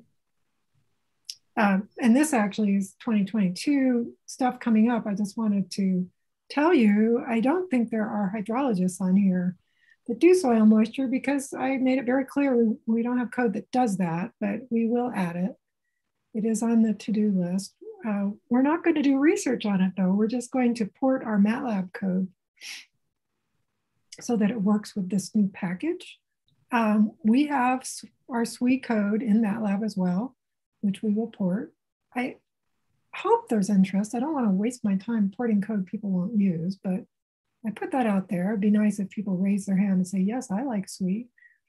Um, I'm not going to support vegetation code here. I am working with a colleague uh, who's interested in it, but I haven't really gotten much positive feedback from ecologists. So I think there's been more interest in snow and sea level and soil moisture. I like the vegetation stuff, but you know, you have to think about what that community wants. And they really do use satellite data a lot. In situ data, not so much. Um, we are going to make a better SNR format, but of course, once you do that, you have to make your code backwards compatible. So it's a you know, it's a non-trivial effort to add a format, but then allow old formats. So we want to be careful. But the main thing we need is a header. And the current format for SNR data was a format I created in 2004 for a homework assignment for grad students. So, you know, enough thought went into it. And my only definition of a useful format at that point was it could be, at, you could load it in MATLAB using load. And that is why everything in that format is a number. Because if you have everything in that format is a number, you can load without any effort. And that's the only reason the way it is. If I put a header, well, okay, I should have had a header, but it was a homework assignment. So anyway, I'm now paying the price 17 years later. So if you are interested in using this code with NMEA, uh, we don't really need your help with that because I've had two colleagues give us code that can be added for that. I'm not sure how many people use NMEA, but that part, I think we're okay. I think we're okay with the smoothing. Hopefully, I've had one person who's going to try to get me something by Thanksgiving. Um, as far as doing tidal estimation, you know, coefficients, uh, I don't feel like that's my job, but I would like to have one that's in Python and would do the reflector height correction simultaneously. And I know that Simon Williams has that in MATLAB and he's made it open source and I've already ported it. So I will add it at some point, um, but I haven't had time in the last few weeks. And we will, of course, put in the antenna phase center correction, but there's really not much point in doing that until we have a better format that has a header. And the other way we can, of course, track the header information is the same way the geodesists do, is they have an antenna receiver file. You know, not they're not really looking at the individual RINEX files normally for the networks. They basically have an external file that they keep track of. So I'm not really sure how that will end up because we're not there yet. So we'll, we'll do our best. But this is sort of on our to-do list. And um, I guess I would say now we should open it up to questions and comments. Do you guys think, Kelly and Tim? I see someone, uh, Sarah has their hand up. Sure. Hello. Thank you. Hi. Um, sorry for my English. I try to make a question in a good way. Well, it is not exactly a question. It's more, more like share my experience because I can do all the homeworks and I get results and I get the nice pictures or, or um, figures. But um, I try to do something with my own data and I can mm, I cannot get any result. It is something crazy.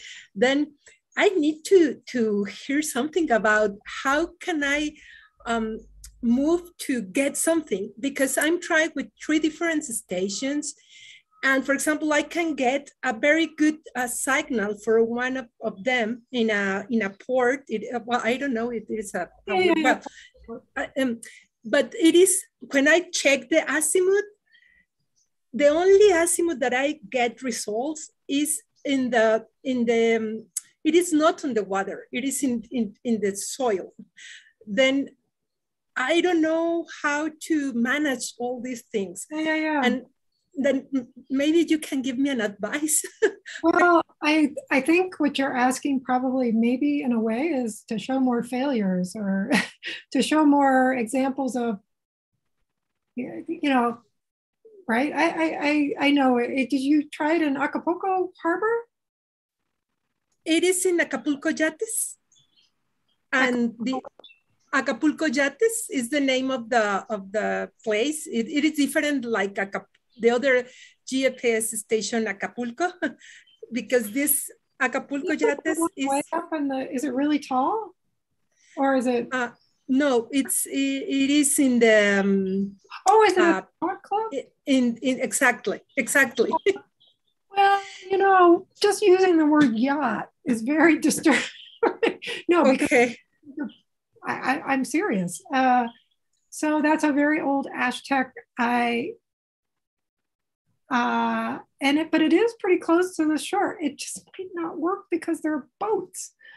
I that, that, that that's my number one. I mean, and and I've been doing this a while, but still, friends of mine will send me their failures. And you know, one time all I did, Sarah Yvonne, was I opened up Google Earth because you know, the web app just shows you whatever Google Earth is giving you. I don't even know how they pick it. You know, they decide this is a good day. But then you can do Google Earth and you can look at different days. Have you guys ever done that? Where anyway, so I'm clicking on different days and you're realizing it's really cloudy around the world. And he was telling me that, you know, he got really bad results this one month. And I looked, there was this big, huge container ship right in front of his site. I'm not saying that's your problem. Um, I actually think the best way to help possibly is to show more difficult sites. But I don't want to start with difficult. I want to start with easy that's like start with lakes, don't do tides until you can do lakes. Um, and then, uh, but if you give me your data, I can look at it. I mean, I looked at data for someone who had a site in the Himalayas, which just had too many rocks. It was just surrounded, you know, it had rocks, it was rough, it was, you know what I mean? It wasn't a nice field. So for snow, that was the problem. Uh, for Neil, I looked at his and I'm like, oh, you're facing north. So, I mean, I think we need more feedback of difficult sites. But if you can't run the software, you'll never get to the difficult sites. So, it's a, I think maybe we just need to add more, maybe in between sites, sites that might work, might not work. I mean, I don't know. But if you send me a RINEX file, I will look at it. Sure. I guess the problem with this station is the mass elevation max. Um, I think it is the receiver is configured to um, maybe 10 or more degrees. Oh, like I think, but but I, I don't, I am not pretty sure. it, it is my guess because. Neil, turn off your muting and tell tell Sarah Yvonne the first thing I told you when I met you about MDAI. Uh, cut the trees down um, aggressively. That's what I remember. I said after the trees. um, maybe I didn't learn my lesson. Remove your elevation mask. Oh, that's right. Yes, that was it was a default because it's just a legacy of feeling like uh, we surveyors have to put elevation masks on everything. So and he had 10 degrees. I told him to change it. That's right. I have to ask to the manager network to do that. but the old, all the old uh, data, I think I shared the data with you and you can give me um, uh, more sense. I'm sorry, I won't look at data with that has an elevation mask of 10 degrees. I'm sorry. I am not pretty sure. I, I don't know if there's a problem. It's my guess, but one site that I would, that's not true. Uh, I don't, do we have a use case for Palmer Station? I don't think so. But um, there's a publication on it that Felipe Nievinski and Sajad Tabibi wrote, and Palmer Station, Antarctica. You can't go below 10 degrees because if you do, you hit land. So it's kind of like on this isthmus, and you have to use between 10 and 16 degrees. But uh, that's a pretty unusual site, and it's pretty tall. but if you have a 10 degree elevation mask, I can just stop you right there. For sea level, that's a deal breaker. For soil moisture, it might not be, but you're not trying to do soil moisture. So sorry, sorry. No, thank you, thank you. Another, can you get another site on sea level that you know that you think might work or? Uh, uh, I I have another station. It is from um, well, it's not mine, but it is from um, the people who I know in the Lázaro Cárdenas, Michoacán. Uh-huh. And I think it is working, it is a little better. I can share the data, but uh, yeah, I, I don't get any good result, uh, at least with my. I, I don't I don't think it makes people feel better, but I get bad results all the time. I, I, I just try to figure out why, and I know that's what you're struggling with also. But I, um, like I said, that Alaska site, I never, I worked on, I created a seven year time series and never understood why it was so hard. because I didn't know people were parking next to the site. Because every time I looked at the pictures, it was like this beautiful, desolate area. And, um, you know, even the places that work, there's a road there roads mean people can drive there. So, I mean, sure, maybe they can't park there, but right? It's hard. Um, send me one of your sites. Why don't we get if there's another SWE would be useful. Okay. So I want to say about SWE. Okay, we'll do that. We'll port that. But just so you know, because I had some questions about snowmelt. Uh, snowmelt, I mean, if you wanted to see if there was melting at the very top of your snow layer, just be aware that yes, there's an effect on the reflection from how wet that surface is. But there's also an effect when it's windy and the snow gets rough, right? There's more than one thing causing that amplitude to change. And, and so it can be very tricky to get that surface melt value, very tricky. And um, we tried, Felipe Nievinski tried for over a year to come up with a algorithm for SWE based only on GPS data, and we gave up because we're mostly, almost entirely sensitive. The most, the, the strongest signal is that reflection off the top. And even if you could tell something about the surface here, I can't see through snowpack, or I don't see through snowpack. And the people that want to measure SWE are digging those pits, and they do want it at every level. And we just can't do that. So the people that are going to give you SWE of a snowpack of a meter, I think they really need to bury their antennas and look at signal attenuation if they want to use GPS. And I don't know any geodesists who deliberately bury their GPS antennas in snowpack. So it's definitely going to be something you're not going to share the sensor with somebody else, right? So we'll add this. So what we did is we developed a density model that we multiply by the snow depth to give you SWE. But as you saw, it was successful. So that would be for the seasonal people. It's not for ice sheets. Snowmelt in Greenland, I think there's something there, but we need to talk offline because it's a pretty, it's a pretty specific application. And I don't think, you know. Anyway, so Bradley, sure, why don't you talk? You raised your hand, say something.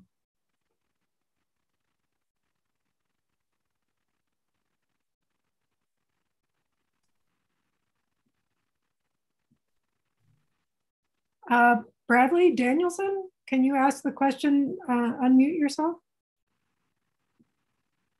Says his mic is not working. Oh, okay, well, I don't know, you could type the question, I guess. I don't know, that's kind of, um, is there another question while Bradley's uh, typing?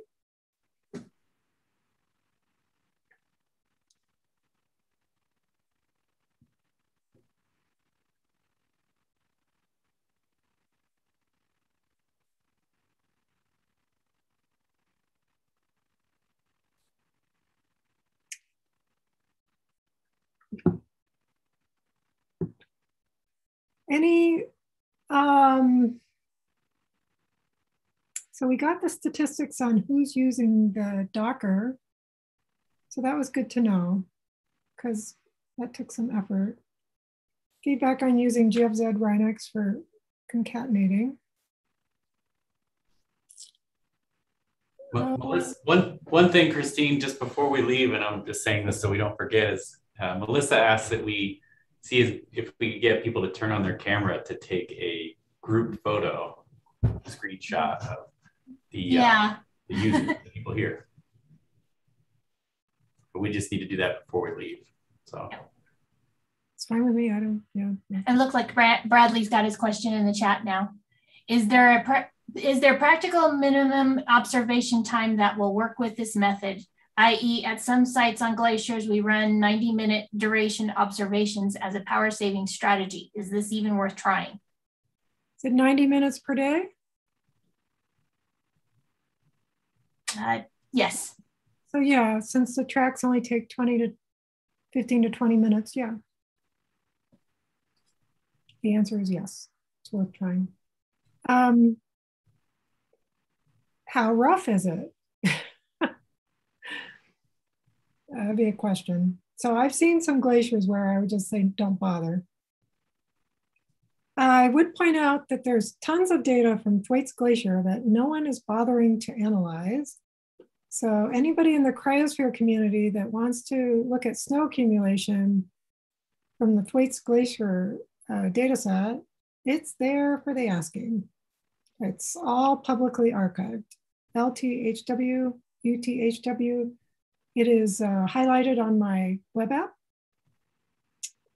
Actually, I guess we could ask questions. I'll get to you, Neil, but did, did anybody use the web app? Did they find it useful that you could, you know, not install the code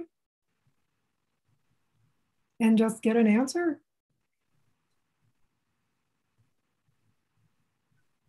it's like Neil gives a thumbs up, Yeah. Okay. and there's a couple of yeses in the chat. Okay.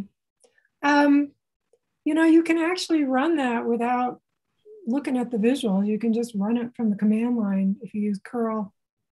Um, but anyway, some details there. But, um, you know, I wrote it without realizing that. So that was, you can do things without realizing they're useful. All right, Neil, what was your question? Uh, so the, going back to the one that I nearly asked before was about solar activity and how that impacts uh, reflectometry. Because I know in, the multi-frequency scenario, trying to get a position usually that mitigates for most activity. Yeah. Um, but how does it impact this? Yeah. No, you know, I one time I there was some ionospheric activity I saw in a site in New Mexico. Uh, it was just fun to look at. Um, it was very high frequency though, uh, so it didn't. You know, and we're looking at these very slow, fifteen to twenty minute tracks, and so the high frequency things didn't affect us. I did see some scary SNR data once from the equator oh my God, I was really frightened because I thought, oh my God, maybe we can't even use this technique near the equator. But since then, I've seen good data. So maybe I just got a bad day, like who knows? So uh, yeah, your solar thing is not a bad uh, guess when you were talking about, you know, that. But um, just not, I have not seen enough of an effect anytime. I mean, things go wrong sometimes. Sometimes it's snow, sometimes, sometimes the telemetry is bad sometimes the power supply goes bad. I mean, yeah, I mean, there could be some, definitely some ionosphere issues on occasion, but I, I have not seen it except that scary site in South America. Um, but, you know, at the same time, I've got those colleagues in Singapore that have shown beautiful results near the equator. So, hmm. yes. Uh, your last five minutes. Had like five cups of coffee today. well, why don't we try to get some of these screenshots going here so that I can all dressed up. Get that done. I'll turn my camera on. Oops. So I'm in the picture too. so I think we will um, we thought about uh, allowing this before the class. I'm glad we didn't because look, we barely got through the easy cases today. But I do think uh, we should let everybody have the opportunity to send one file and we'll give it a look, right? Um, but maybe what we'll ask you to do is to maybe give us a use case feedback, right? You type up where the site's from, maybe. You know, like the use cases we have, we usually describe the site anyway, I'll let uh, Shelly go ahead. Sorry, did I screw that up? Melissa, Shelly, Melissa, Shelly, is there a Shelly there? We're good. I got it all. anyway, we, we might try to get um, people to submit their files and see, we'll see if we can try to figure out what's wrong with them. I'm pretty sure I won't look at any of them if you won't send me a picture.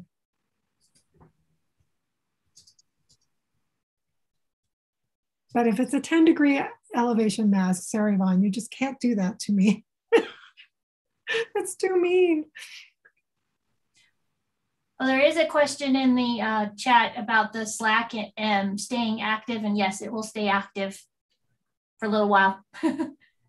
um, I didn't answer Slack not because I'm incapable of using an app, but it was just hard enough to get the lectures together and uh, to make the videos. So I let uh, Tim and Kelly answer the questions uh, in Slack. I'll try to pay a little more attention now that um, this part is over. Uh, the YouTube channel will stay, and um, you know, UNAVCO is going to kindly archive these uh, these lectures, and uh, we'll see where we go. Um, I hope it was helpful but we can definitely leave the Slack open. I think, she says, having no responsibility for it. yeah, no, we can keep it open. I mean, I've been on Slack channels before where they kind of died, but this one's a little different in that it's a science Slack. All right. I say we declare success I told my husband to make me a margarita, but yet I don't see it here. All right.